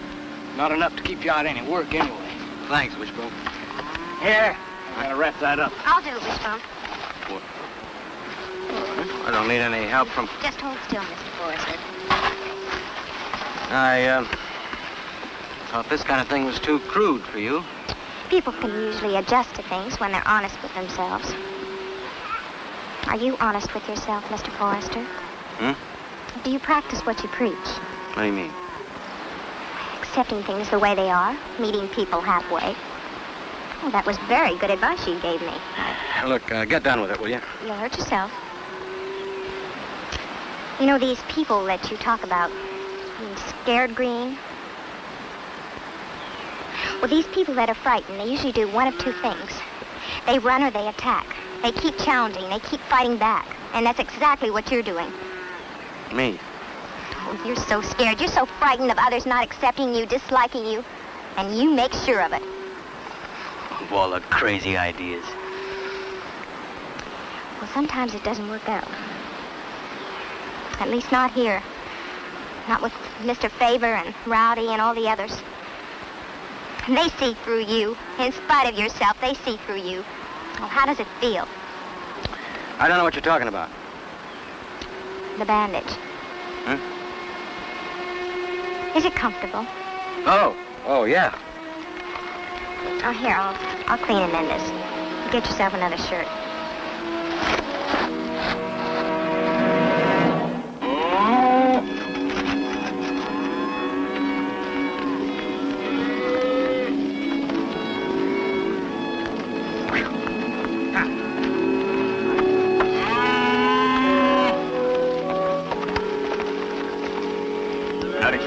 What happened. Any damage? I'm all right. All right, take it easy. We're about finished up here. Still pretty early. How about pushing on? Boys got a rest coming. We'll lay over till tomorrow. Well, it's a shame to waste the time. Got it to waste? Go on back. Relax. Well, anything you say.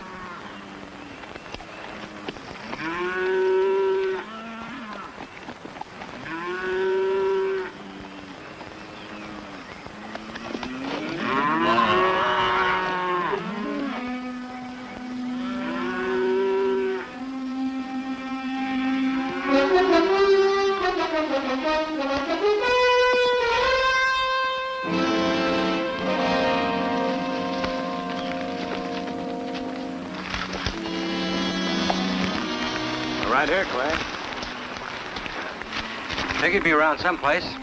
Where's everybody else? Back away is all set to go. What about you? Well, that's what I came up to tell you. It's about time. Baines, get the men. You won't need them.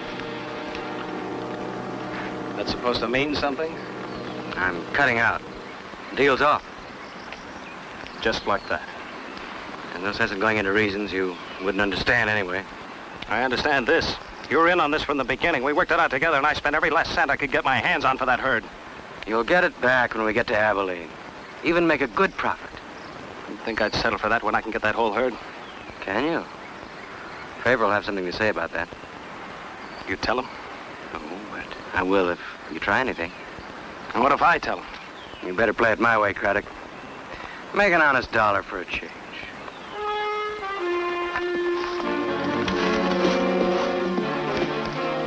Put that thing away. You want Favor's men to hear you. What difference does it make now? Uh, nothing's changed that much. That herd's still down in the valley. We're still here. Just have to figure another angle, that's all. Yeah. You just saved Forrester from me. It's funny what'll happen to a man when he gets religion.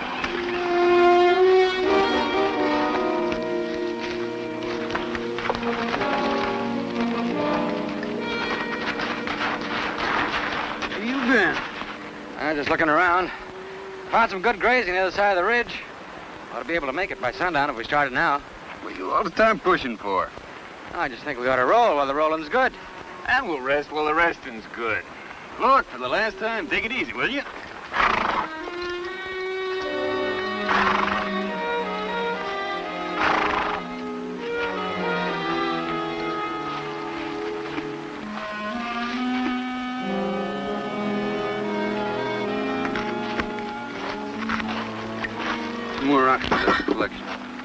Still doing here? Why aren't you in town? Well, Miss Brewster wasn't ready to go yet, and well, anyway, I had to get something ready for the fellas to eat.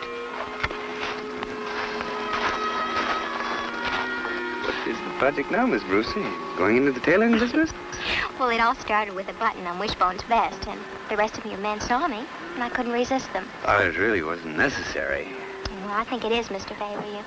You, you've all been so kind, and this, this seems to be the only way I can show my gratitude. All right, but uh, I'm afraid you're going to have to disappoint some of the men. You see, Wishbone has to get into town right after dinner, so you'd bet- better get ready to go. Did Mr. Forrester come back? I just left him over at the string. Oh, fine. I think this belongs to him. Wouldn't surprise me at all if I ended up going into town all by my lonesome. Hey, boss.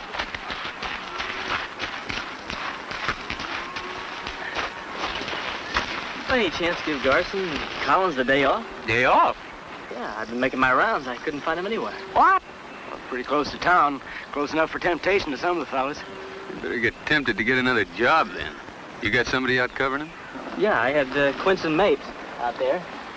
Yeah, just be on the safe side in case they got themselves into trouble. You better send somebody out to check on them. Right. Hey, you gotta keep Miss Brewster around here. She's doing a heck of a job. Take a bigger man than you are.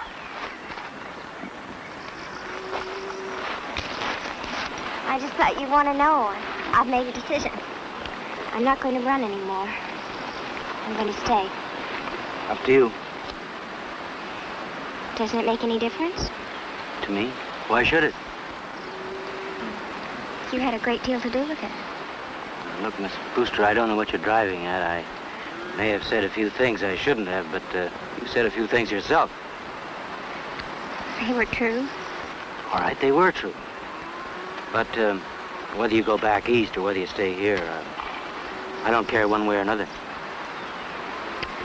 I see. I'm sorry I bothered you.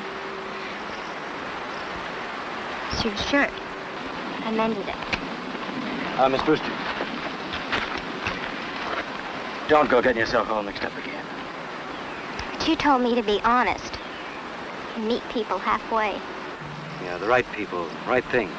Not some crazy notion you picked up because you were confused and scared.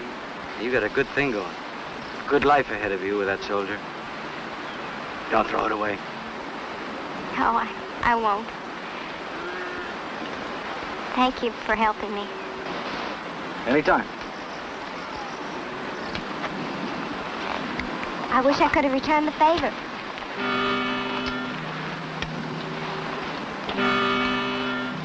Maybe you have.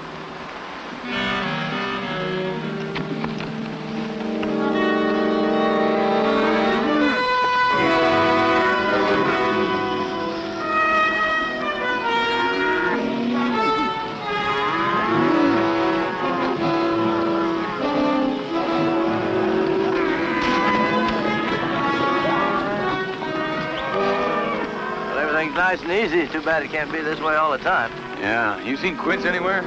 Last hour or so. Something wrong? I don't know. I can't find him. You don't think he took off? I don't know what to think. You keep an eye open for him. You find him, you send him to me. Right.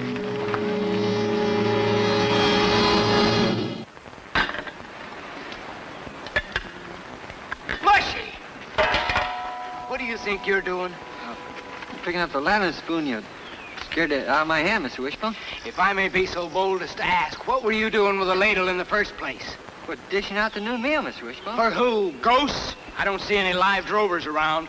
Well, you will. I bet they're breaking their necks to get here right this minute. Well, they know you don't like latecomers. They know better than that. I don't even serve latecomers. That's what I said, Mr. Wishbone. I think. There was five of them didn't even show up for breakfast. What makes you think any of them are going to show up for noon meal? We're all scared of you, Mr. Wishbone. I know, I know I am. Scared of me? Well, not scared like birds of a scarecrow, but we respect you. You. Hey, Wish, you seen Scarlet around anywhere? Well, you got eyes. You can see where he isn't. Go ask the boss. Now, how do you expect me to keep this warm if you keep putting it out in empty places like that? Get it back here and put it on fire. Some of those fellows are liable to be late.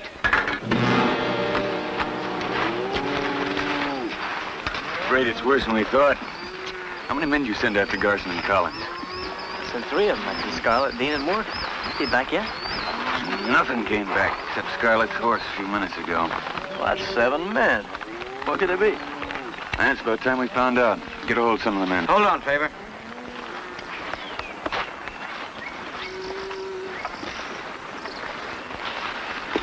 I'll tell you what happened to them. How do you know? Craddock's got them. We uh, plan to take over the whole herd. All 3,000 head. Say it plain. Well, it can't be any plainer. We wanted your herd. It was set up from the beginning. The only reason I joined your outfit was to get you to the right place and uh, pick the right time for his men to take over. This is the right place and time? Well, except for one thing, I didn't pick it. I uh, cut out on him last night. Walked out on the whole deal. So um, he's uh, working this on his own.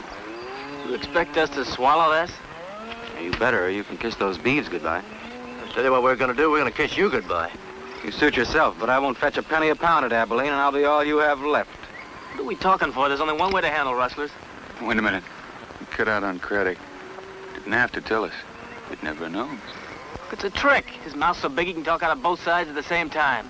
You don't want to believe me? You take a look at the facts. Now, Craddock's already picked off seven of your men. Maybe he's got a couple of more by now. How many guns does that leave you? How are you going to stand him off and guard that herd at the same time? You don't. All right, if you let us know where his camp is, we can go hit him. No, that won't work, Favor. Not as long as he's got your men. He'll gun them down before you even get close. No, somebody's going to have to get to them first, cover them. Somebody? Yeah, me. He's trying to talk his way out. Why you? Well, chances are I can talk him into believing that I've switched again. No, talking be enough to convince him that you'd switched again. You need some kind of proof. Proof? Yeah, like uh, me as a prisoner, for instance. Boss, have you gone loco? All right, Clay. How do you get the men guard the herd? If we don't make it, do what you can.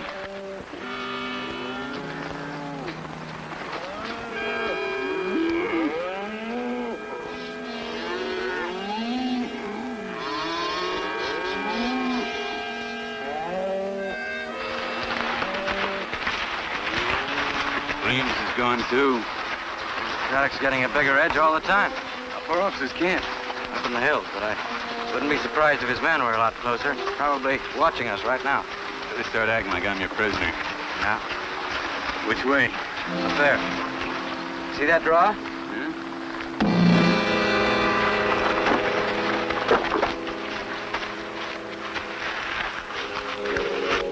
You got me stumped, Clay. Coming back like this, I just don't figure it. Nothing hard about it. You know I like the edge, and when you start picking off Craddock's men, the odds change, that's all. They did, huh? We have got him, haven't you? Nine of them, right back there. You uh, don't take any chances, do you? Not with anybody. Come on, take it easy. I brought him in, didn't I? Yeah, it was mighty simple, wasn't it? All I had to do was play it innocent, like I wanted to spring his men. And then when I got him alone, there was no problem at all to take him. That's how it happened, Craddock. I saw him. Who are you? Well, how about it, Craddock? Do we start moving out? Only a dozen or so drovers left. 3,000 head of cattle, ours for the taking. Ours. You Welsh, then you think you can come back and pick up right where you left off, huh? Eh, you need me, Craddock. You'll never get that herd to Abilene without a good trail, boss. You know, with you along, I might never reach Abilene. You see, Clay, I like the edge, too. Too bad, because you haven't got it. You sneaked in and picked off Favor's men one at a time. I told you to play it my way, Craddock. Now, while you were and I are having this friendly little talk, some of uh, Favor's men came in and picked off all yours. Take a good look around, Craddock. The uh, ones holding the guns are Favor's men. The uh, ones they're hurting are yours.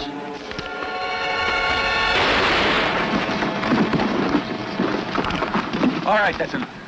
Ah, you pick up the drift real fast. Do I? How do you know Rowdy and Pete were going to show up? You look at it this way. The way you had faith in me, I had faith in your men.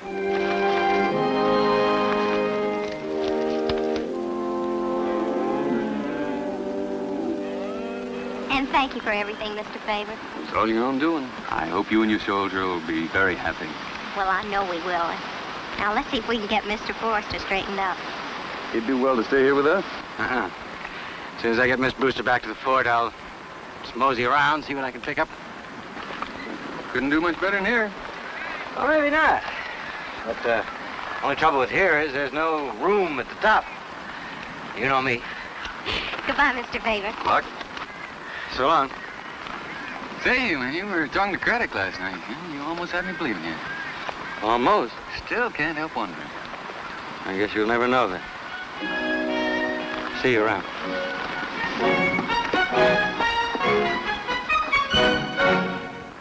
Hit 'em up! Move 'em out! Keep rolling, rolling.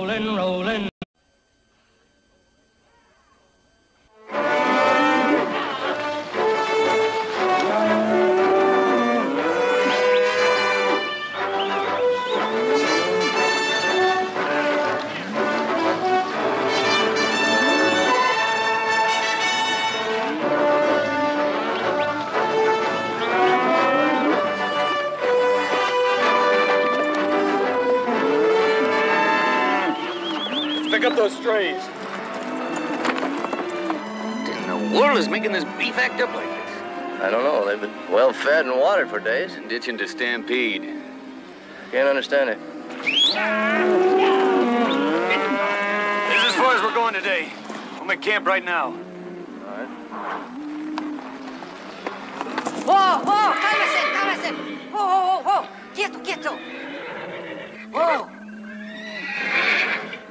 Listen to them cattle. I hear them only too well. It ain't natural. Maybe they smell a storm coming up.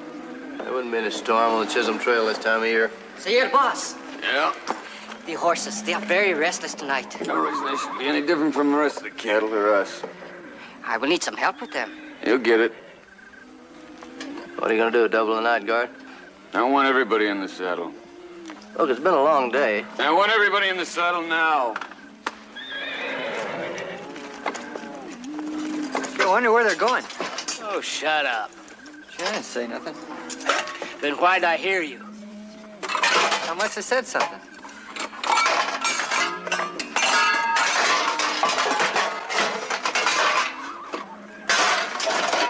Now, where do you think you're going with those things?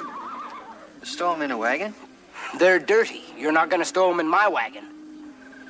You want me to stow them in a supply wagon? No, I don't want you to stow them in the supply wagon. I want you to wash them. Well, Mr. Wishbone, that stream is near a mile from here. Well, you got feet, haven't you? Big ones, too. Well, whatever you say, Mr. Wishbone. I already said it.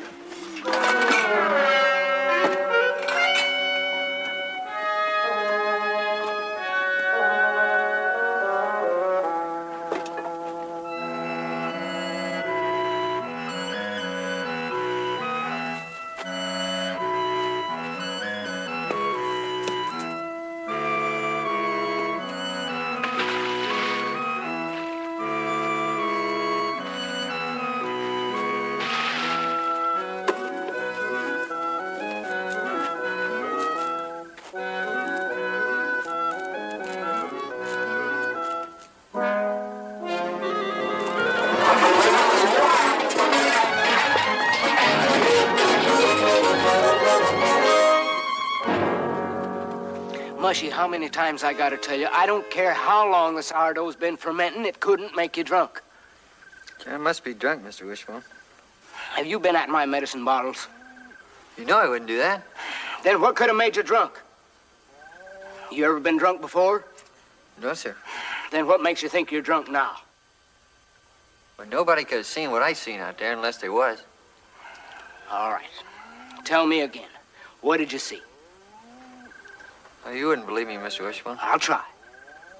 Well, I... Well, I seen this... And then there was, uh... Oh, Mr. Wishbone, I seen him, but I don't believe it.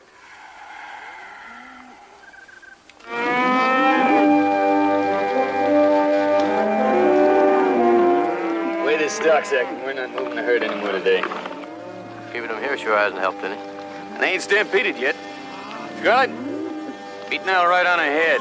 You keep the men in their saddles. Have Wishbone get breakfast to them one way to another. Sure, boss. We're riding on ahead looking for what? We sure ain't very bright, but they always got a reason for doing what they do. We're looking for that reason.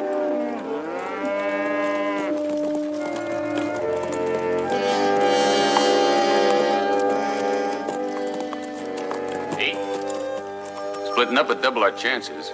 Right.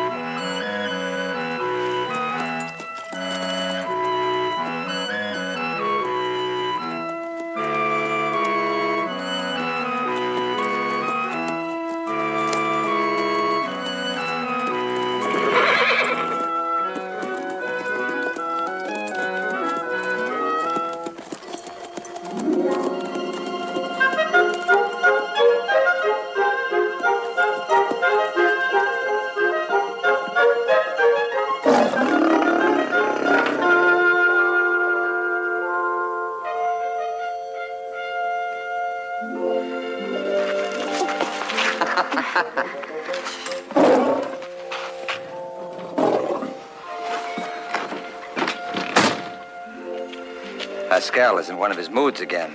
Well, you know how he is when we're, we're together. But we've got to rehearse.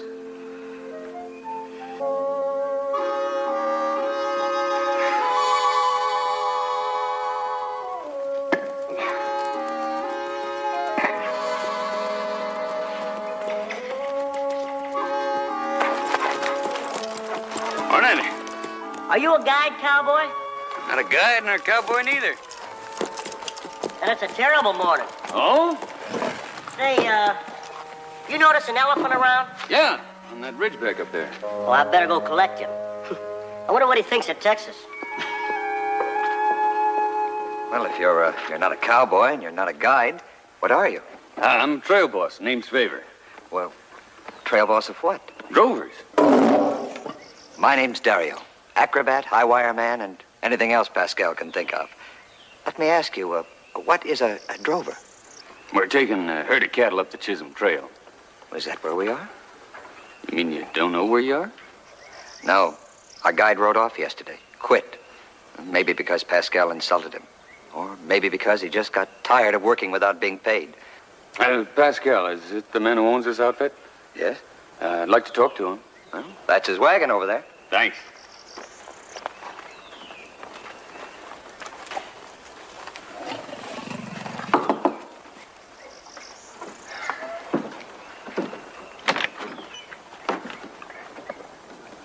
Um, Mr. Pascal? Pascal. Just no last name, no title, just Pascal. Oh, my name's Favor. I'm a trail boss. I got a herd of 3,000 head close by. Head of what? Beeves. All right. What are beeves? Oh, cows, cattle. And uh, they've caught the scent of your lion. They're awful edgy. Well, my lion is kept behind bars. Well, beef doesn't know that. What you want from me is a written statement that you can show them, is that it? Uh, It's just that I, I can't move my herd until your lion is far enough away they don't get his scent. My lion stays with me. Well, where are you headed for then? Braley. Braley, Texas, if there is such a place. Oh, there is. It's about uh, 30 miles northwest of here. Well, I'm relieved. Great Western Circus is booked into Braley for a gala performance, and I'm delighted it's only 30 miles northwest. I wish my circus were. Well, um, all you have to do is, is follow the trail. Ever sail a ship? No. Oh, my people can't follow a trail. Not for five minutes without getting lost. Is your herd on its way there? Mhm. Well, then my suggestion is that we drive along with you. No, I'd make the herd edgier than ever. Ah. Well, we'll just wait for a favoring wind to blow us to Braley. Yeah, I've got a better idea. I could send my scout. He could take you into Braley. How much does your scout get paid? Oh, you don't have to worry about that. I pay him. Well, in that case, I won't haggle. How soon can you have him here? An hour or less. Jenny! Yes? I imagine the trail boss is in a hurry. We should be ready to move as soon as the scout gets here. So if you will use your charms on Dario and wake up Orlando, maybe the two of them will strike the tents, and our wagons will be ready for moving. If you want the tent struck, Pascal, all you have to do is ask me. I know that, Dario. Just that lately I can't ever seem to find you. You're always off somewhere with Jenny. Do you want the tent struck? If it wouldn't be too much trouble. Did I say something I shouldn't have?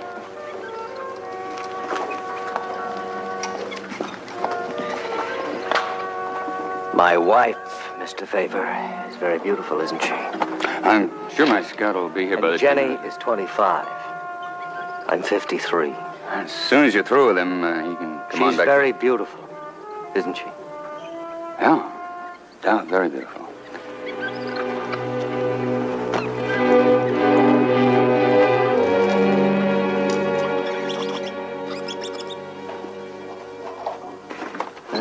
Friends,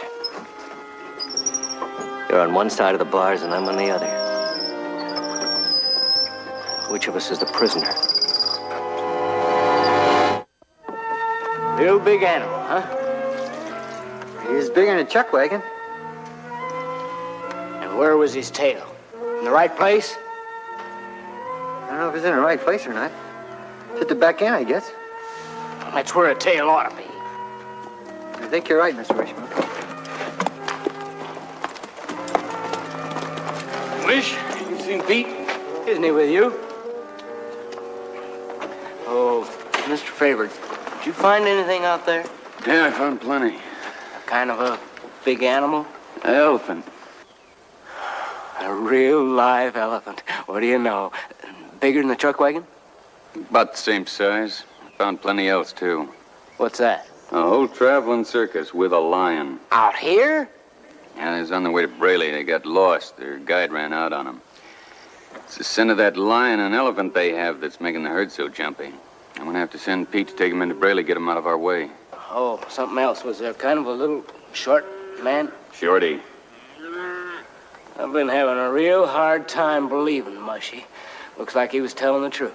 Well, I always do. I ain't smart enough to make up anything, Mr. Wishbone. Uh, Mr. Favor, there isn't any telling when Pete might get back. We won't be able to move the herd until we get that outfit off the trail.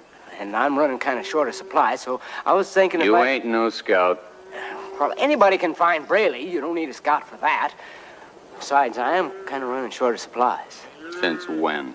Well, since this circus, and I got a real hankering to see me a real live elephant. You know? You know, you just might be a better man for the job after all. I'm always a better man.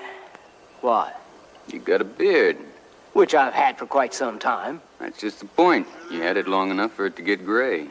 So that makes me better than Pete. I don't think Pascal would mind having you around. Who's Pascal? Owner of the circus. All right, take the supply wagon and get on over there. It's about four miles north of here. I'm on my way. And Wishbone. Those uh, circus people are kind of strange outfit. Don't get mixed up with them. You mind your own business. I always do.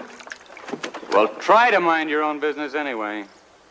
Mushy, you'll be doing the cooking for the next three, four days. There won't be any trouble, Mr. Favor. Yeah. Uh, you'd, you'd better stick to stew, huh? You like my stew? Well, there's just not much anybody can do for stew one way to the other. You know, I figure it just might be safer that way for everybody.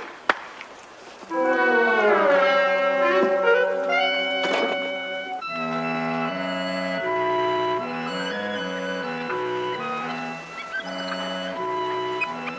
sir, a real live elephant. Just about as big as a chuck wagon. Are you the new guy the trail boss promised us? For once, that mushy was right. Well, are you or ain't you? I what? The new guide. Yes, sir, mister. I'm going to take you to Braley. My name's Wishbone. G.W. Wishbone. Shorty. Shorty.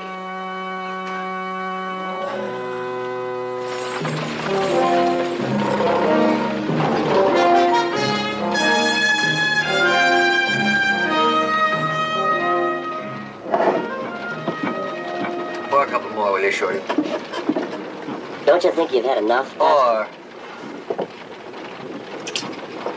What are you trying to do? Drink your way through the Southwest? drink my way through the rest of my life.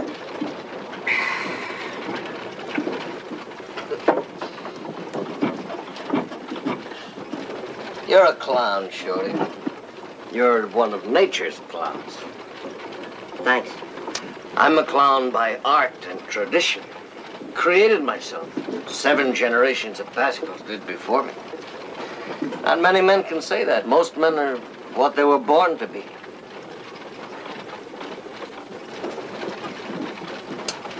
Could you, by willing it, have added one inch to your miserable stature? You think I wanted to be the way I am? Oh, no. That's your tragedy. I did want to be the way I am. That's mine.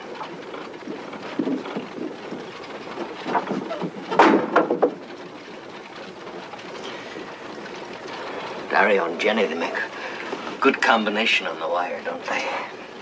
They're a fine actor, Pascal. On and off the wire. That's so. On the wire. Off the wire, Jenny's your wife. I know that. And you know that. She knows it too. But it bothers her, doesn't it? It bothers Dario, too. Pascal, I've been telling you time and time again. You've been lying to me time and time again.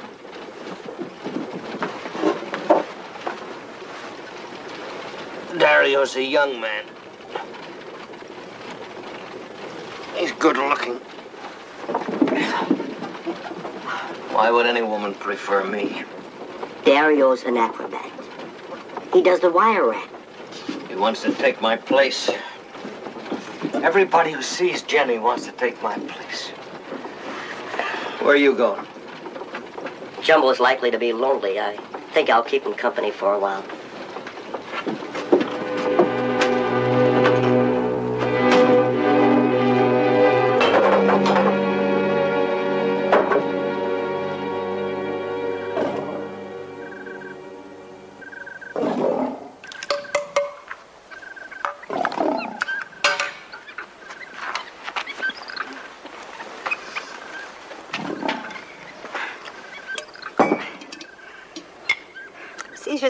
Caesar's kind of edgy tonight.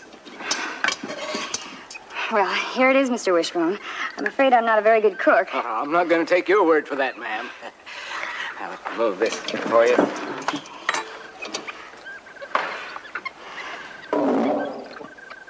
Jenny, where's Pascal? I'm sorry. He's in the wagon. I'll get him. Help yourself, Dario. I will, Jenny. I'm not in there drinking. I didn't think you were. No, you don't lie very well. I've been watching you. There's food on the table. Watching you and Dario. Pascal, come and eat. I'm curious, Jenny. You and Dario talk about me when you're together? Or don't you even think about me at all? What are you trying to do, Pascal? Drive me away from you? I want you to be old and ugly like me. You're making me feel old and ugly. Dario makes you feel different, doesn't he? Doesn't he?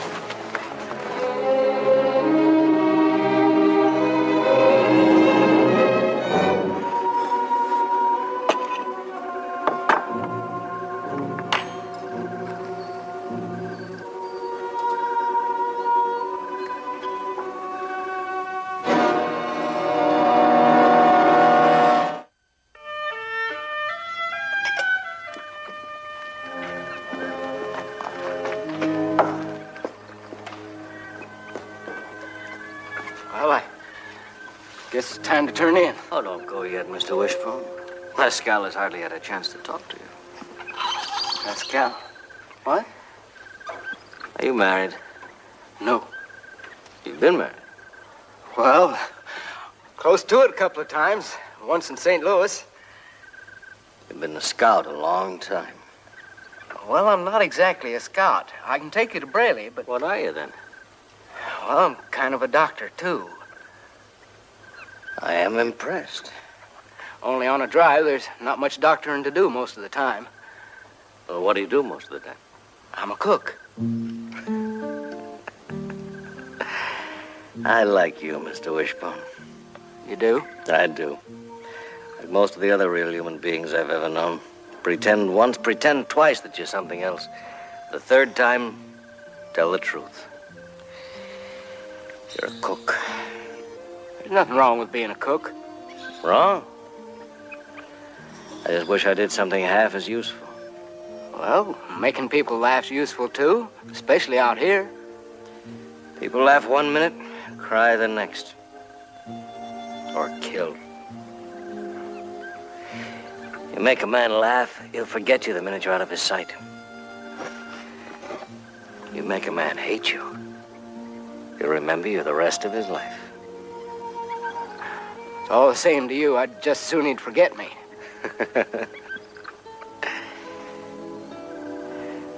Are you a drinking man, Mr. Wishbone? I'd take it or leave it alone. Mostly on the drive, I leave it alone. Not on the drive now? Care to join me in a drink? Yeah, sure. Shorty!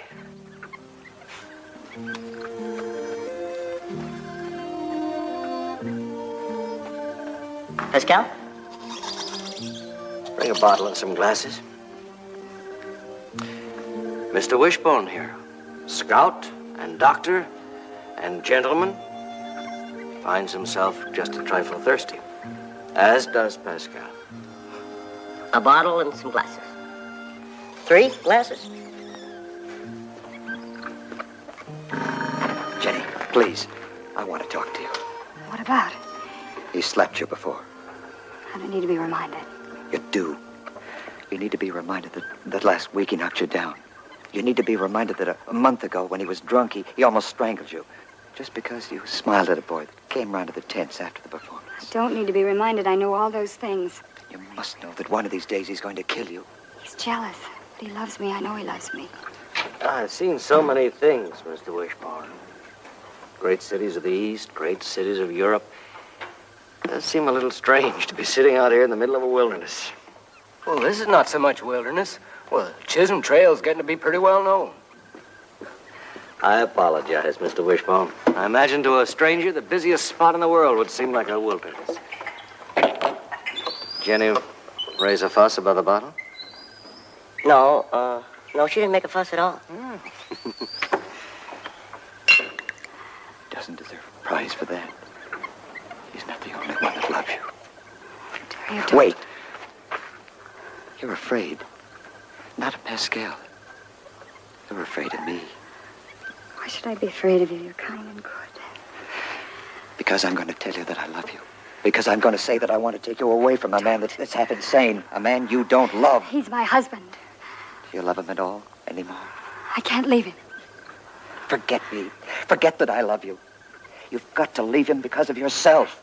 Do you want to know the real reason I can't leave? What is it? Because I'd never be sure that I was leaving him to save myself. Or whether I was leaving him because I was falling in love with you. Jenny. No, Dario, please. Quit the circus. You know, if you were to shave off that beard, you'd look so much younger. Well, I'd be pretty lonesome, too. Now, this beard's been with me for a long time.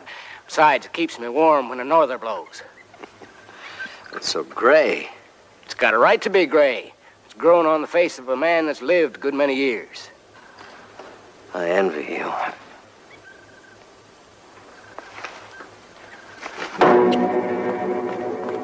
I won't leave you alone with him. Make things easier. You could have found a better place, a more hidden one. Do you have to make love to my wife where I can see you? He's quitting the circus, Pascal. I'll kill him first.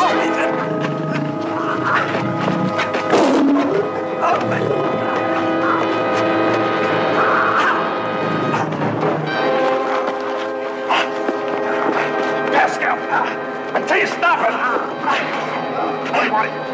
Stop it. What do you want to do? Kill him? Kill him.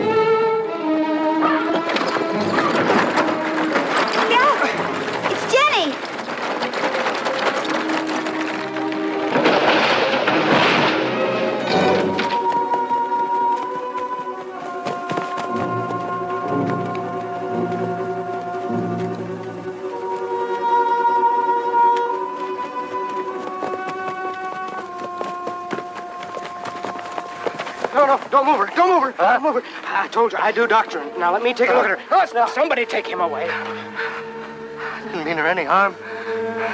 I didn't mean her any harm. Is she dead? No, she's just unconscious. Well, no bones broken, she may be hurt inside. Can't tell here. First thing to do is make her comfortable. The bed in our wagon, it's soft. Well, we'll get her there as soon as possible. Now, don't jostle her around doing it. I'll get my bag.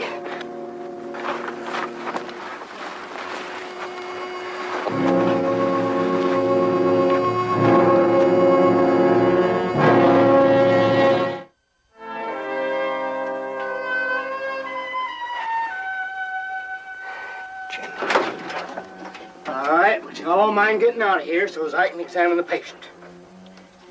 Pascal, come on out. Give Mr. Wishbone a chance.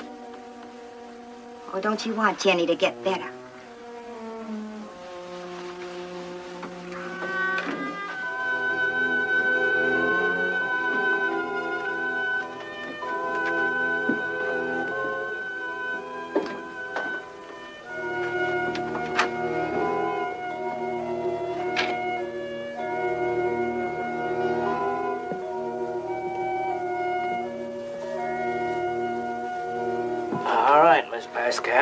Open your eyes now. Because while I was getting them out of here, I saw your eyes flicker. That's better. Nothing's better. You hurt any place? No. Well, I guess just being thrown from the wagon knocked you out for a while. Oh, I should go and tell Pascal. Please don't tell him. He's worried about you. He's worried about me now, but when he finds out I'm all right, he'll... Mr. Wishbone, you're going to have to pretend that there's something wrong with me. What good'll that do? It'll give me a chance to escape. When we get to Braley and they're setting up the circus, I'll, I'll take a stage and, and go east. You think that's fair to your husband, ma'am? Pascal is a great clown. His father and his father before him, they were all great clowns. Look at him. Why do you think he has a four wagon circus? And a lion and a few monkeys and an elephant and nothing more? I don't know. Because he drove everyone away from the circus, everyone under 30. He was jealous of me. It started about three years ago when he became 50. And ever since then, Pascal's circus has grown smaller and smaller. Drifted away from the big cities and the big crowds. Now we're here. I guess Texas isn't a very good place for a circus. At least I don't ever remember seeing one out here before. It would be different if he were just beginning. But he was at the very top. Oh, you should have known him then. The tent ringing with laughter. It's my fault. I never should have married him.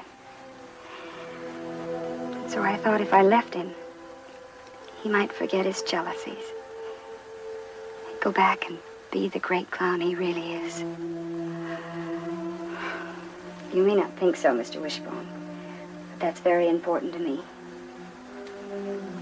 Because I loved him very much once. I kind of hate letting him think you're sick when you're not.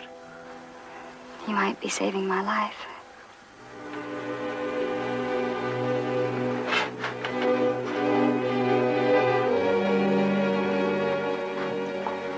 Uh, you're pretty sick, ma'am. You just stay right where you are unless I tell you to move.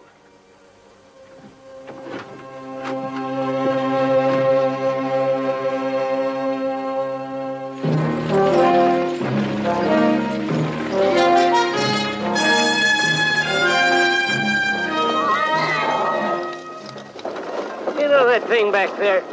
You mean the elephant? Wouldn't be any good at all on a trail ride. Not any worse than a doctor who ain't a doctor. Who ain't a doctor? You? Well, never said it was. At least not a real one. Well, then, how come you knew so much about Jenny's sickness? I had a lot of experience with fellas being thrown. Well, uh, you ain't had much experience at lying. You getting at something? You know, I don't think Jenny's sick at all. You talk this over with anyone else? I like Jenny. Ah, that's something.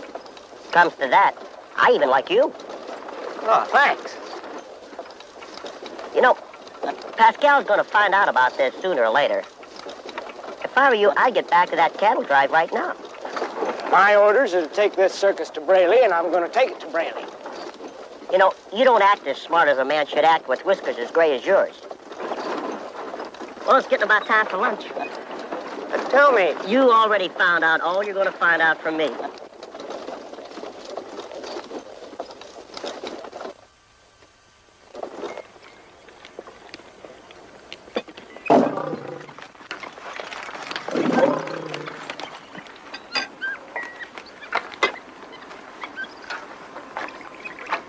Got to talk to Jenny. Well, she's not feeling good. However she's feeling it. It's my fault. I got to talk to her. Well, I can't keep you out of there.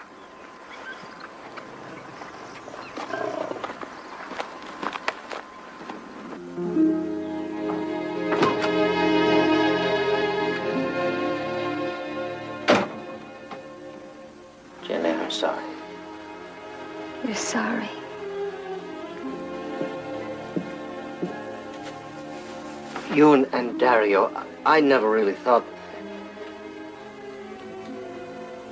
I mean, it was all in my mind. I know it was. Jenny. You remember Boston? When we got married.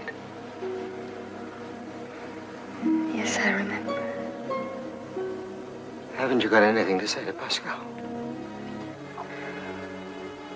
I'm tired, Pascal.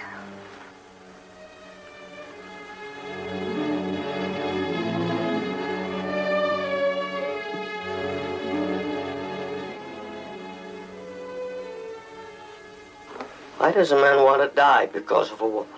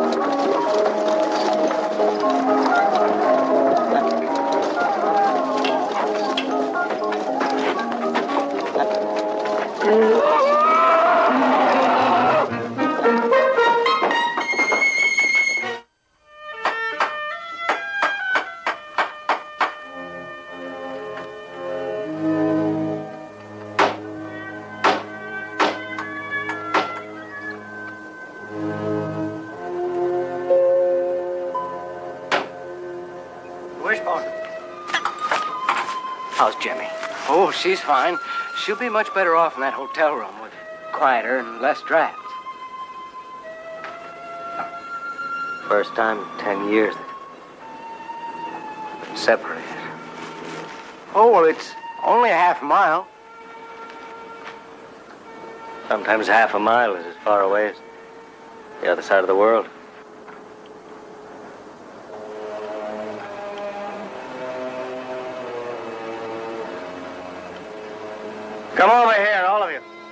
Something I want to tell you.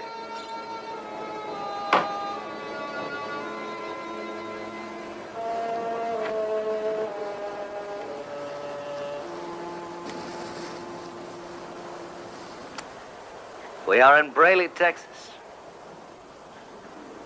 A dusty town in empty country. There isn't much anyone can say about Braley, Texas, up until now. After today, it'll have a certain distinction. This is the place where Pascal gave his last performance. You're joking. My wife is very ill. She needs all the attention I can give her. I can't keep both the circus and her. I choose Jenny. Shorty, for what it's worth, the elephant, the monkey, the lion, the wagons. It's your show. Well, what are you... What are you going to do? Jenny and I'll find some place. Don't worry. You'll never hear from us again. There never was a Pascal could quit a circus. There never was. There will be now.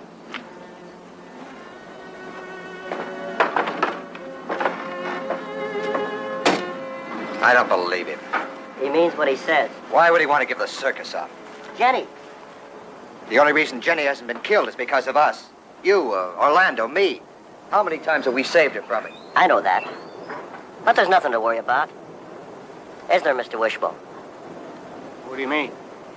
Jenny was faking. You took her away from the circus and put her up in that hotel. Why? Give her a chance to get a stagecoach east? That's what I meant. The thing is, it isn't going to be that easy. Why not? There's no stagecoach out of Braley for three days.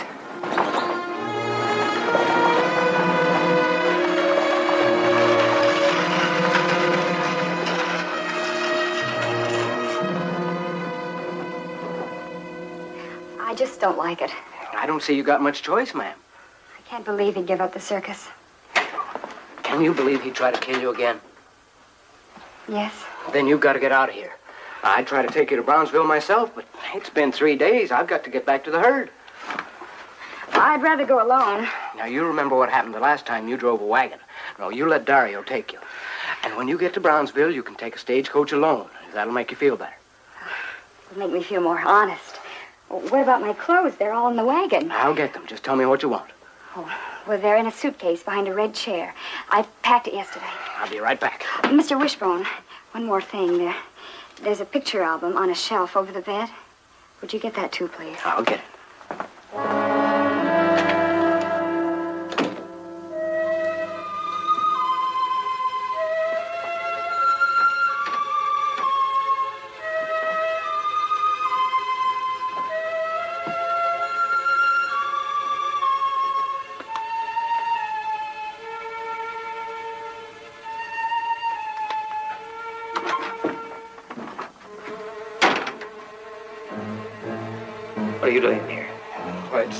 Pascal. She needs to change clothes. She's too sick to think about clothes, isn't she? Or maybe she isn't. Well, you don't know anything about women. Well, no matter how sick they I know are, all they're I need to know thinking about Jenny. She packed that before she left, didn't she? And you're taking it to her. Where's she going? Well, she's staying right there in that hotel room. Oh? Now, she's a sick woman. I'm not going to let you bust in there.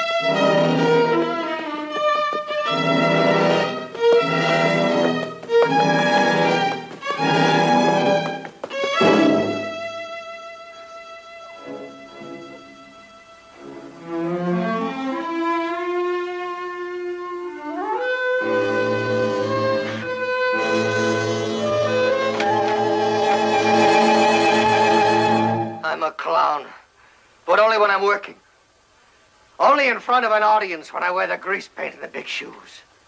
Nobody makes a clown out of me with my wife, with my life. I asked Dario to take me away with him. You didn't have to ask him twice, did you?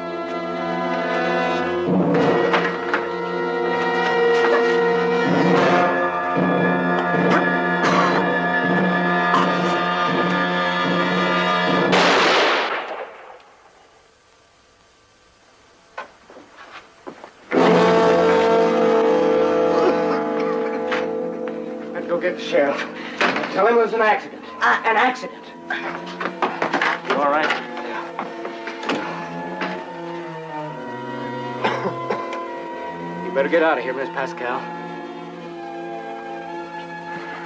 Go get my doctor's bag. It's in the front of my wagon.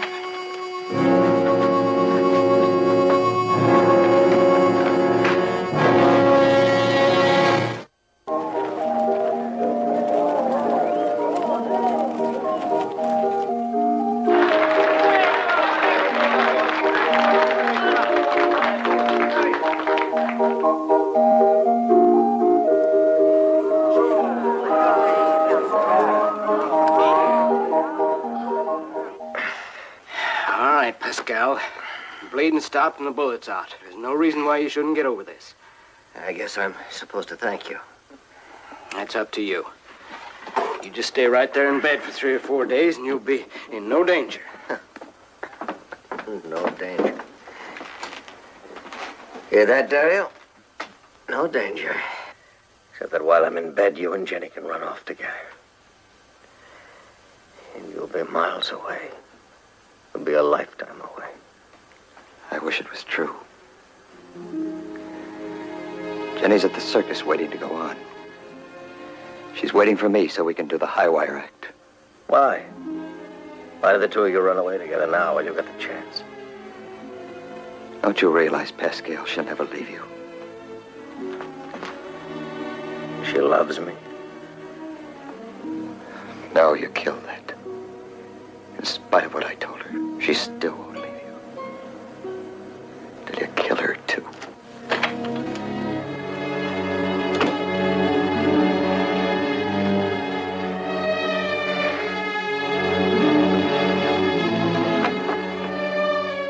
What do you think you're doing? I'm getting up. You heard Dario. Jenny's not leaving me. But if you don't stay right in that bed, you're going to kill yourself.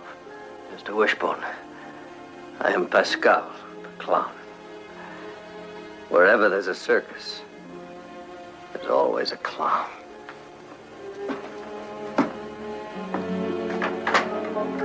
May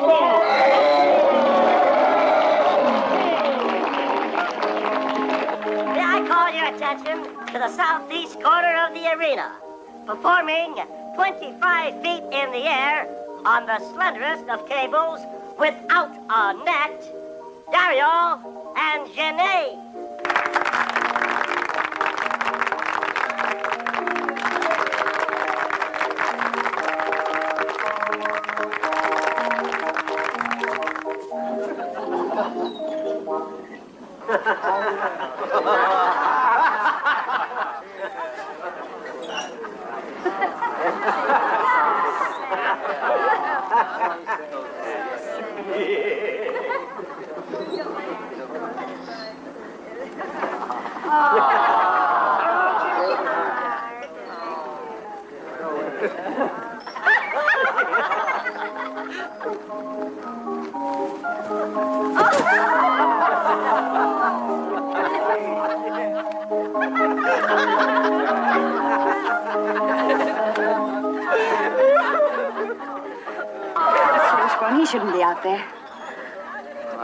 Stop him.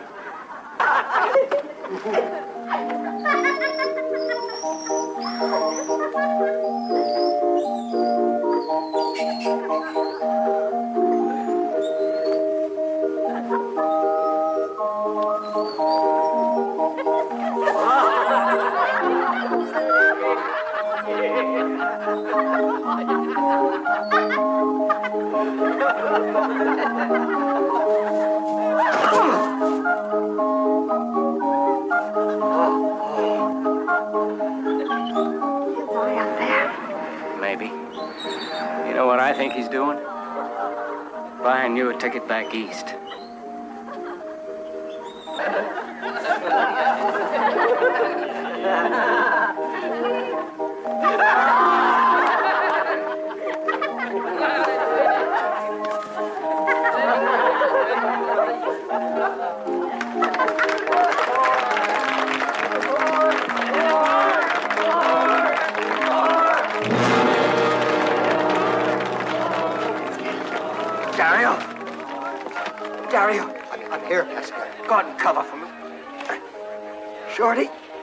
It's your circus. Tell them.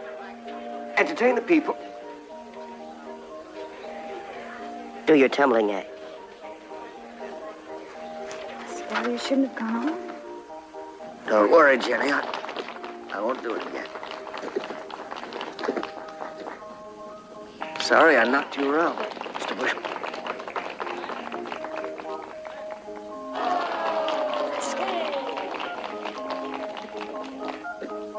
One thing a good performer knows when to make an exit.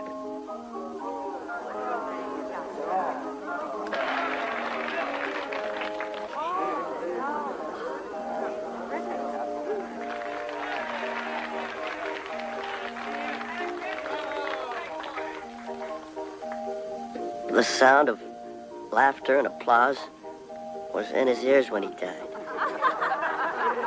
What more could a clown want?